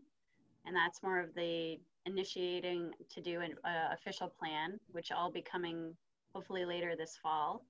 Um, and also Section 17 of the Planning Act, which is also another special meeting of council to, to adopt the new official plan. Um, everything in between is sort of up to us, but obviously our consultation platform is extremely important. The province is wanting to know what the public uh, feels about our, our official plan. And we also have mandatory engagement, such as with our Indigenous communities as well. Um, so there's a bunch of different uh, uh, compartments to consultation. Uh, provincial, um, municipal with stakeholders as well in the development industry and special interest groups, our indigenous communities, and also in terms of reaching out to those that I mean, it really is a community plan, and how does the community feel about that? So the so everything in between is during public engagement. We have statutory and public engagement as well, and then mandatory other stakeholder engagement. Yeah, thank you. But do you know of any metrics that we might? Nine o'clock. Thank you. Do you know if there are any metrics that we might be judged against uh, as to whether we've done enough of a, uh, uh, an outreach to our uh, community? Uh, through you, Mr. Mayor, to Councillor Bell, there's no, in essence, metrics. Um, as long as we meet our statutory requirements and the province is satisfied that we've done some public consultation and we've reported, um, really, that's really all there is. And it's up to you as the council at the end of the day, if you are satisfied by your constituents and you have then satisfied that in terms of your council role, that you will then adopt the official plan when I bring that forward with section 17 at the end of the day. Yeah, I just don't want to get caught out in January 2022 by the province saying, well, you haven't spoken to enough people. You've only spoken to 100 when you need to speak to, speak to 1,000. But if there's no metrics, there's no metrics. That, that's good. Thank you. Are there any other questions for Jennifer? Seeing none, we'll hand it over to Councillor Bell, please. Yeah. Um, moved by myself and seconded by Councillor Pearce that staff report RPT 20-123, new official plan revised consultation and engagement initiatives be received as information. Everyone's clear. Vote to receive. All those in favor? Opposed? And carried. Thank you, Jennifer. Um, communications, we have none. Mr. Mayor, just, just one, there was a, an additional item there that I asked to be put on. I think it came as HC-1, I think. Okay. Yeah, and, and it really follows the uh, uh, communication I had with colleagues trying to remind them of a request that Jennifer made to us uh, about four or five months ago, where she asked for a councillor's sounding board uh, to help her with the preparation of the official plan. I think just, just on reflection, we, we I, I think this is probably the most important deliverable of our council term because it sets the, the agenda for the next 10 years effectively. And it's a huge job, as we can all see. Um, and we're still getting provincial inputs now. And so there's a lack of clarity on a number of things still. And, and COVID has had a, a five months impact on all of this. It's actually not enabled us to get out and do the kind of consultation that Jennifer was just talking about. So I, I think there is a, a, an imperative for us to be sure that we've got enough resources applied to this task because every time Matt or Jennifer asks the province, can we push the date back? The answer is absolutely no. So we're between a rock and a hard place here. And I think we as the council, uh, I, in my view, should do all we can to help. And I thought the idea of a, a councillor sounding board for Jennifer and the team to bounce ideas off was a good idea. And, and I think, you know, if I overstepped the mark in terms of the municipal act, I apologize for that profusely. But my intent was to try and help our planning department achieve a very difficult, very uh, challenging goal in a very short time. Thank you, Councillor Bell. Does anyone want to respond to Councillor Bell? Councillor Gatward?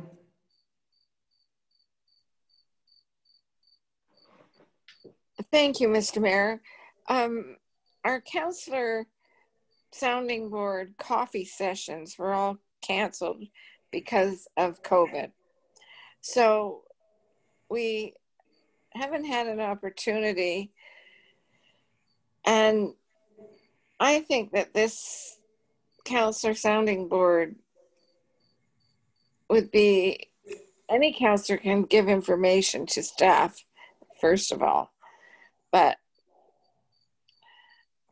I understand what Councillor Bell is trying to achieve here, and I don't think it's a bad idea.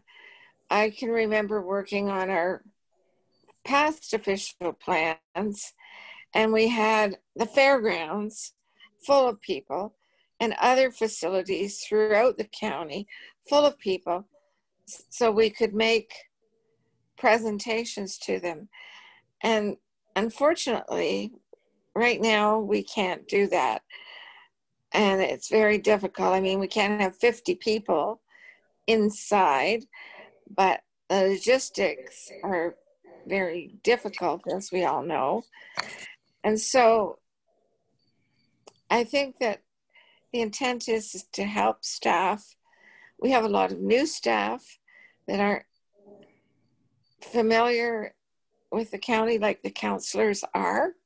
So I think it's a good idea.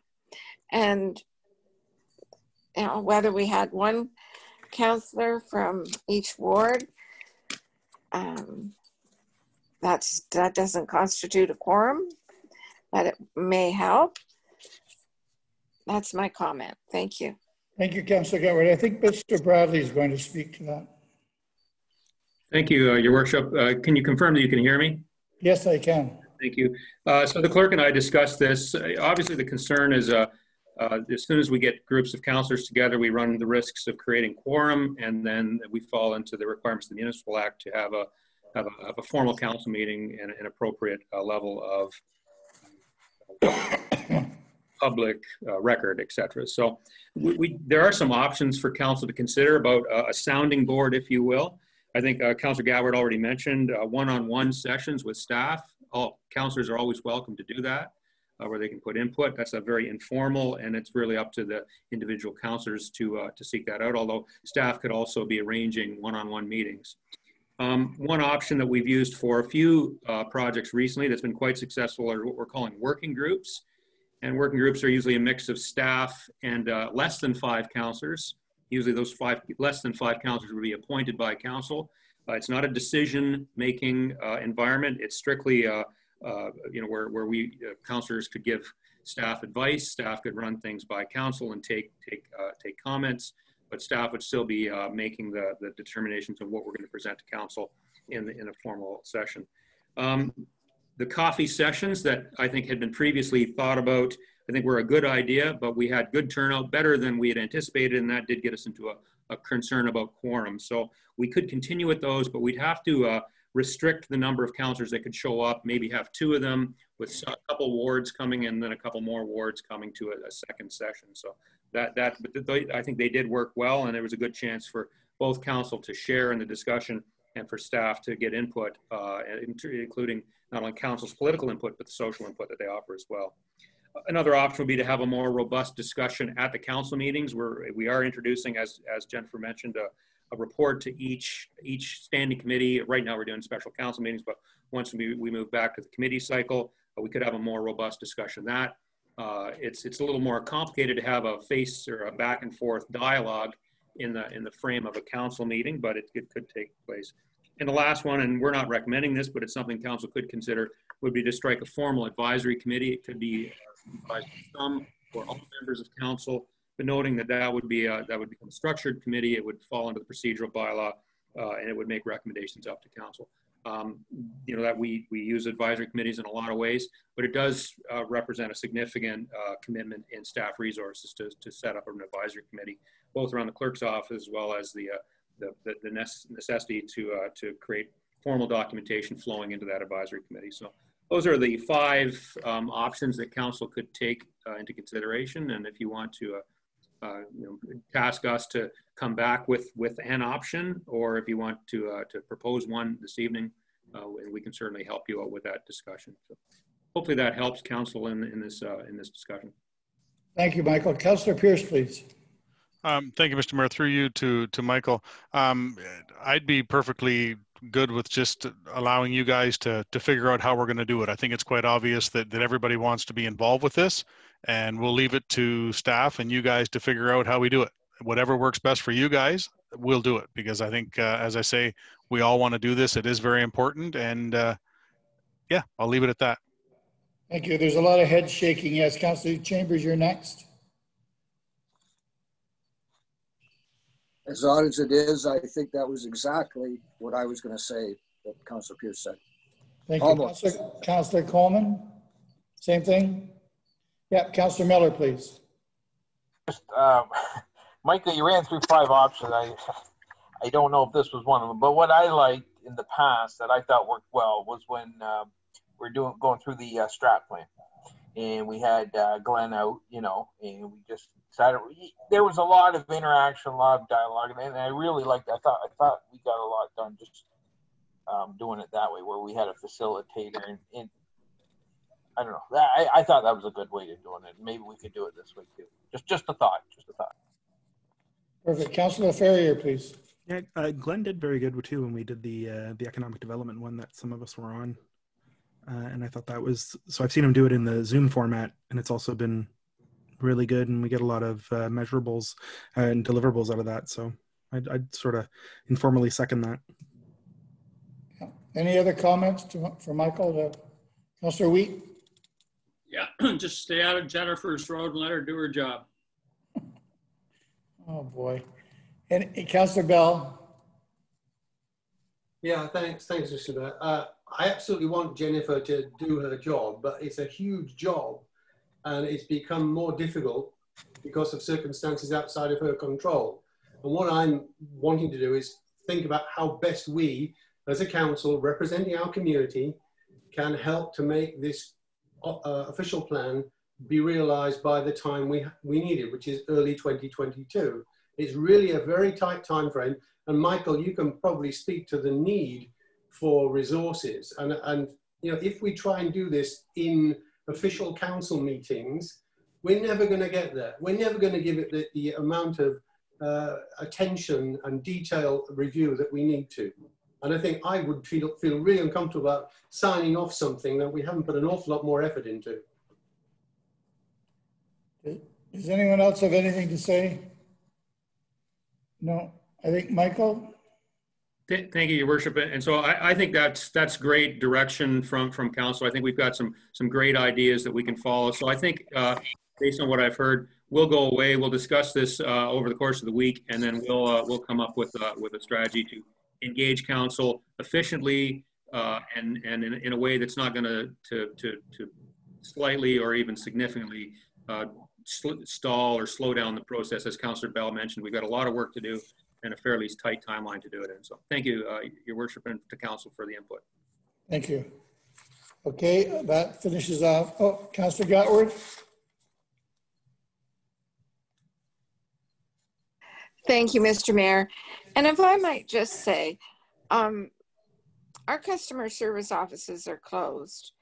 Um, not in Burford or Paris, but the other ones are.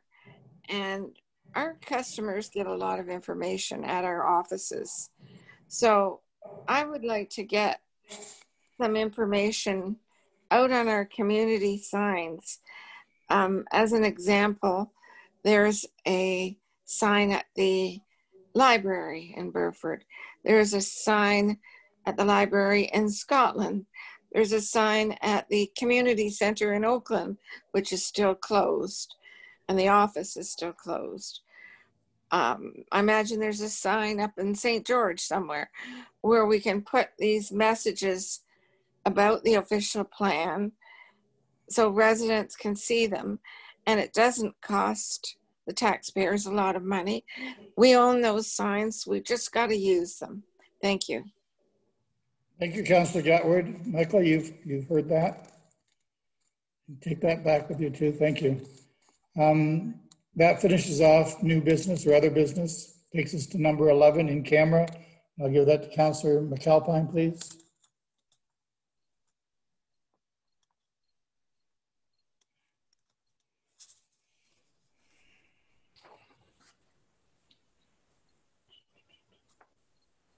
Moved by myself and second by Councillor Chambers, the County of Brant Council convene in camera to discuss litigation matters affecting the municipality and advise that is subject to solicitor client privilege with the solicitor and Peter Tice, consultant in attendance, Valerie Holmes, LPAT appeal. Call the vote to go in camera. All those in favor? We're now in camera. Uh, Heather? I just confirm that the feed has been stopped?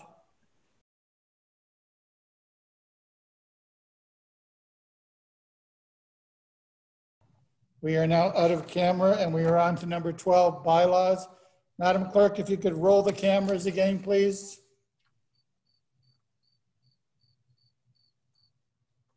We're back on. Thank you. We're now on number 12, bylaws. I believe Councilor. Am I on TV? Okay. You're on TV, Councilor Miller. Smile. Film at 11. Moved by myself, second by Councilor Gatward, that bylaws 87-20 to 91-20 be read the first time. All those in favor? Second time, please, Councilor Miller. Moved by myself, second by Councilor Gatward, that bylaw numbers 87-20 to 91-20 be read a second time and all clauses and preambles be adopted. Thank you. Are there any questions for Councillor Miller regarding any of the bylaws? Seeing none, if you could read them for the third time, please, Councillor Miller. Moved by myself, second by Councillor Gatward. that bylaw eight. We had to vote first. Oh, sorry, we have to vote. All those in favor? Do you have questions, Councillor Pierce, or just wanting to vote? Nope, just that we needed to vote on that first. Thank you. Okay, Councillor Miller, I'm sorry. For the third time, please. Okay. Uh, thank you. Moved by myself and seconded by Councilor Gatward that bylaws 87-20 to 91-20 be read a third time, passed, signed, and executed. Thank you. All those in favor? Third reading. Signed, sealed, and delivered. Number 13 is the next meeting, September 15th. Move to adjourn. I think we should have the meeting start at 2.30 in the afternoon. With cocktails. With cocktails. Anyway, it'll be either the 15th or the call of the chair. Thank you and good night. Thank you to all. That was a great meeting. Thank you. It was a marathon. Thank you, Mr. Bradley. Good night, all. Drive safely, Michael. Good evening, Your Worship. Thank you. Remember, you're in Burford. Good night. Good night. Later. Good night.